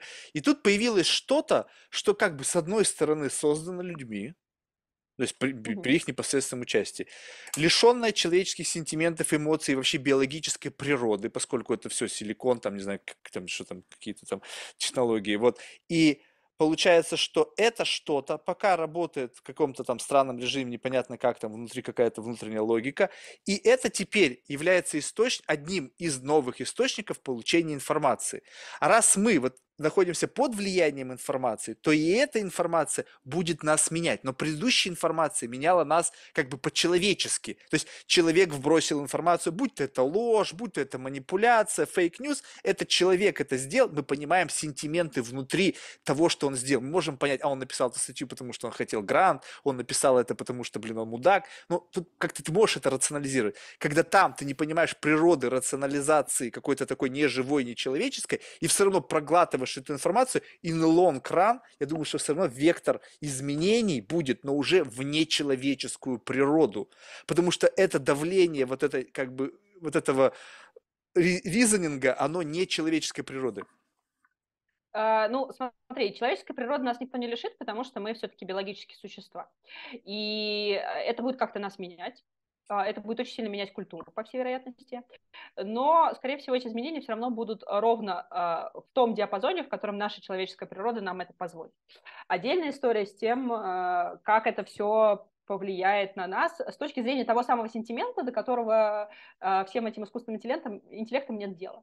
И мне кажется, что некоторое количество экзистенциальных вопросов о том, а для чего нужен человеческий разум, когда есть разум более мощный, она перед нами встанет и, перед, и как перед философами, как перед обществом, которое, в принципе, изначально-то, ну, как бы мы, может быть, э, побочный продукт нашей деятельности – это искусственный интеллект, но вообще-то, в принципе, человек, он э, рожден для чего-то более... Да, но вот представь себе, что это stepping stone. Вот представь себе, что мы живем, и у нас самый умный, это, ну, как-то в истории, там, не знаю, Эйнштейн, Платон, Аристотель.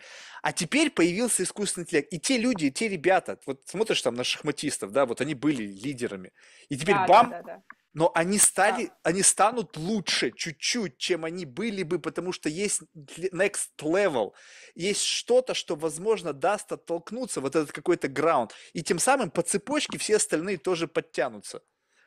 Потому что тебе Ну, нужен общем, всегда нам, лидер. нам, я думаю, что нам в итоге нужно будет э, как-то серьезно подумать про наши ценности и наши приоритеты, и наши потребности.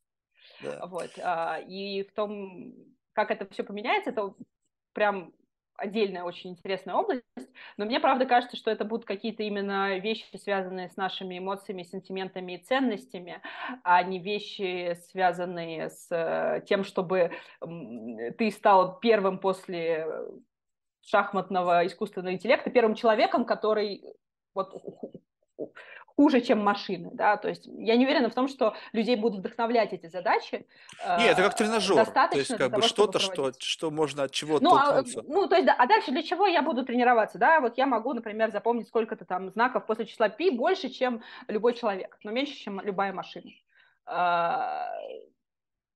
Что мне это даст? Ну, то есть, мне правда кажется, что у нас в какой-то момент возникнут э, вопросы о том, а что нам вообще надо как людям, как, как, как человекам, как, э, как виду, как обществу э, и как а, обычным вот просто организмам из костей, кожи, э, мяса и немножко желе белкового, жирового. Вот. То есть, мне И кажется- там, там действительно может возникнуть много вопросов. тогда, ну, в самом конце, тогда получается, что сейчас, вот, я не знаю, звучит как бы контрпродуктивно, да, кажется, но вектор такой, что смысла постигать науку, ну, в том плане, вот в том академическом смысле, когда для тебя будет создано условие, ты будешь как бы как оператором некого э, э, компьютера, который будет, на котором будет твориться нау- наука, а ты будешь человеком, который, ну, который ну, сделает какой-то, ну, типа, как бы вбрасывает туда что-то, и как ауткам этого процессинга будет тебе выдаваться. То есть ты такая функция, ну, креативная останется. Но э, оператор компьютера и генератор идей это разные как бы функции, да? Ну, то есть ты из, из человека создающего, как бы в реализующего, обсчитывающего, превращаешь человека, который просто набрасывает идеи, как все эти IT-предприниматели говорят, ой, я хочу уйти из операционки, а просто генерировать идеи, и там мои умполумпы это как-то делают. Все превратятся в людей, которые вбрасывают идеи, и будет среда для воплощения этого, как бы для... Слушай, а что будет, если, знаешь, такое, как бы абсолютно но, не научно, а что если, блин, полететь на Марс? И такой, вот что будет. И как бы вот тебе решение, как лететь на Марс и что для этого надо сделать. А дальше уже решай, будешь ты делать это или нет. Поэтому, блин, вектор как будто бы меняется, и, и важным станет... Вектор меняется. Вектор меняется, а вот куда мы пока на самом деле не знаем, потому что э, нам очень легко предсказывать что-то, что более-менее стабильно движется примерно в одну и ту же сторону, но каждый раз, когда у нас происходит какой-то переломный момент и действительно изменение вектора, на самом деле э, мы редко, когда, исходя из нашего прошлого опыта и наших прошлых изменений вектора вот по, по одной прямой, можем э, угадать куда дальше мы будем движется, поэтому здесь я вообще никаких прогнозов делать бы не Большой стала. сюрприз то, что это всех. все нам, на- нам придется адаптироваться к явно каким-то очень новым вызовам, э, это точно. И возможно, что там тоже будет о чем подумать без относительно искусственного интеллекта, а просто самим собраться и, и, э, оставив его в сторонке и подумать о том, о чем, что нам дальше это и для чего мы теперь здесь.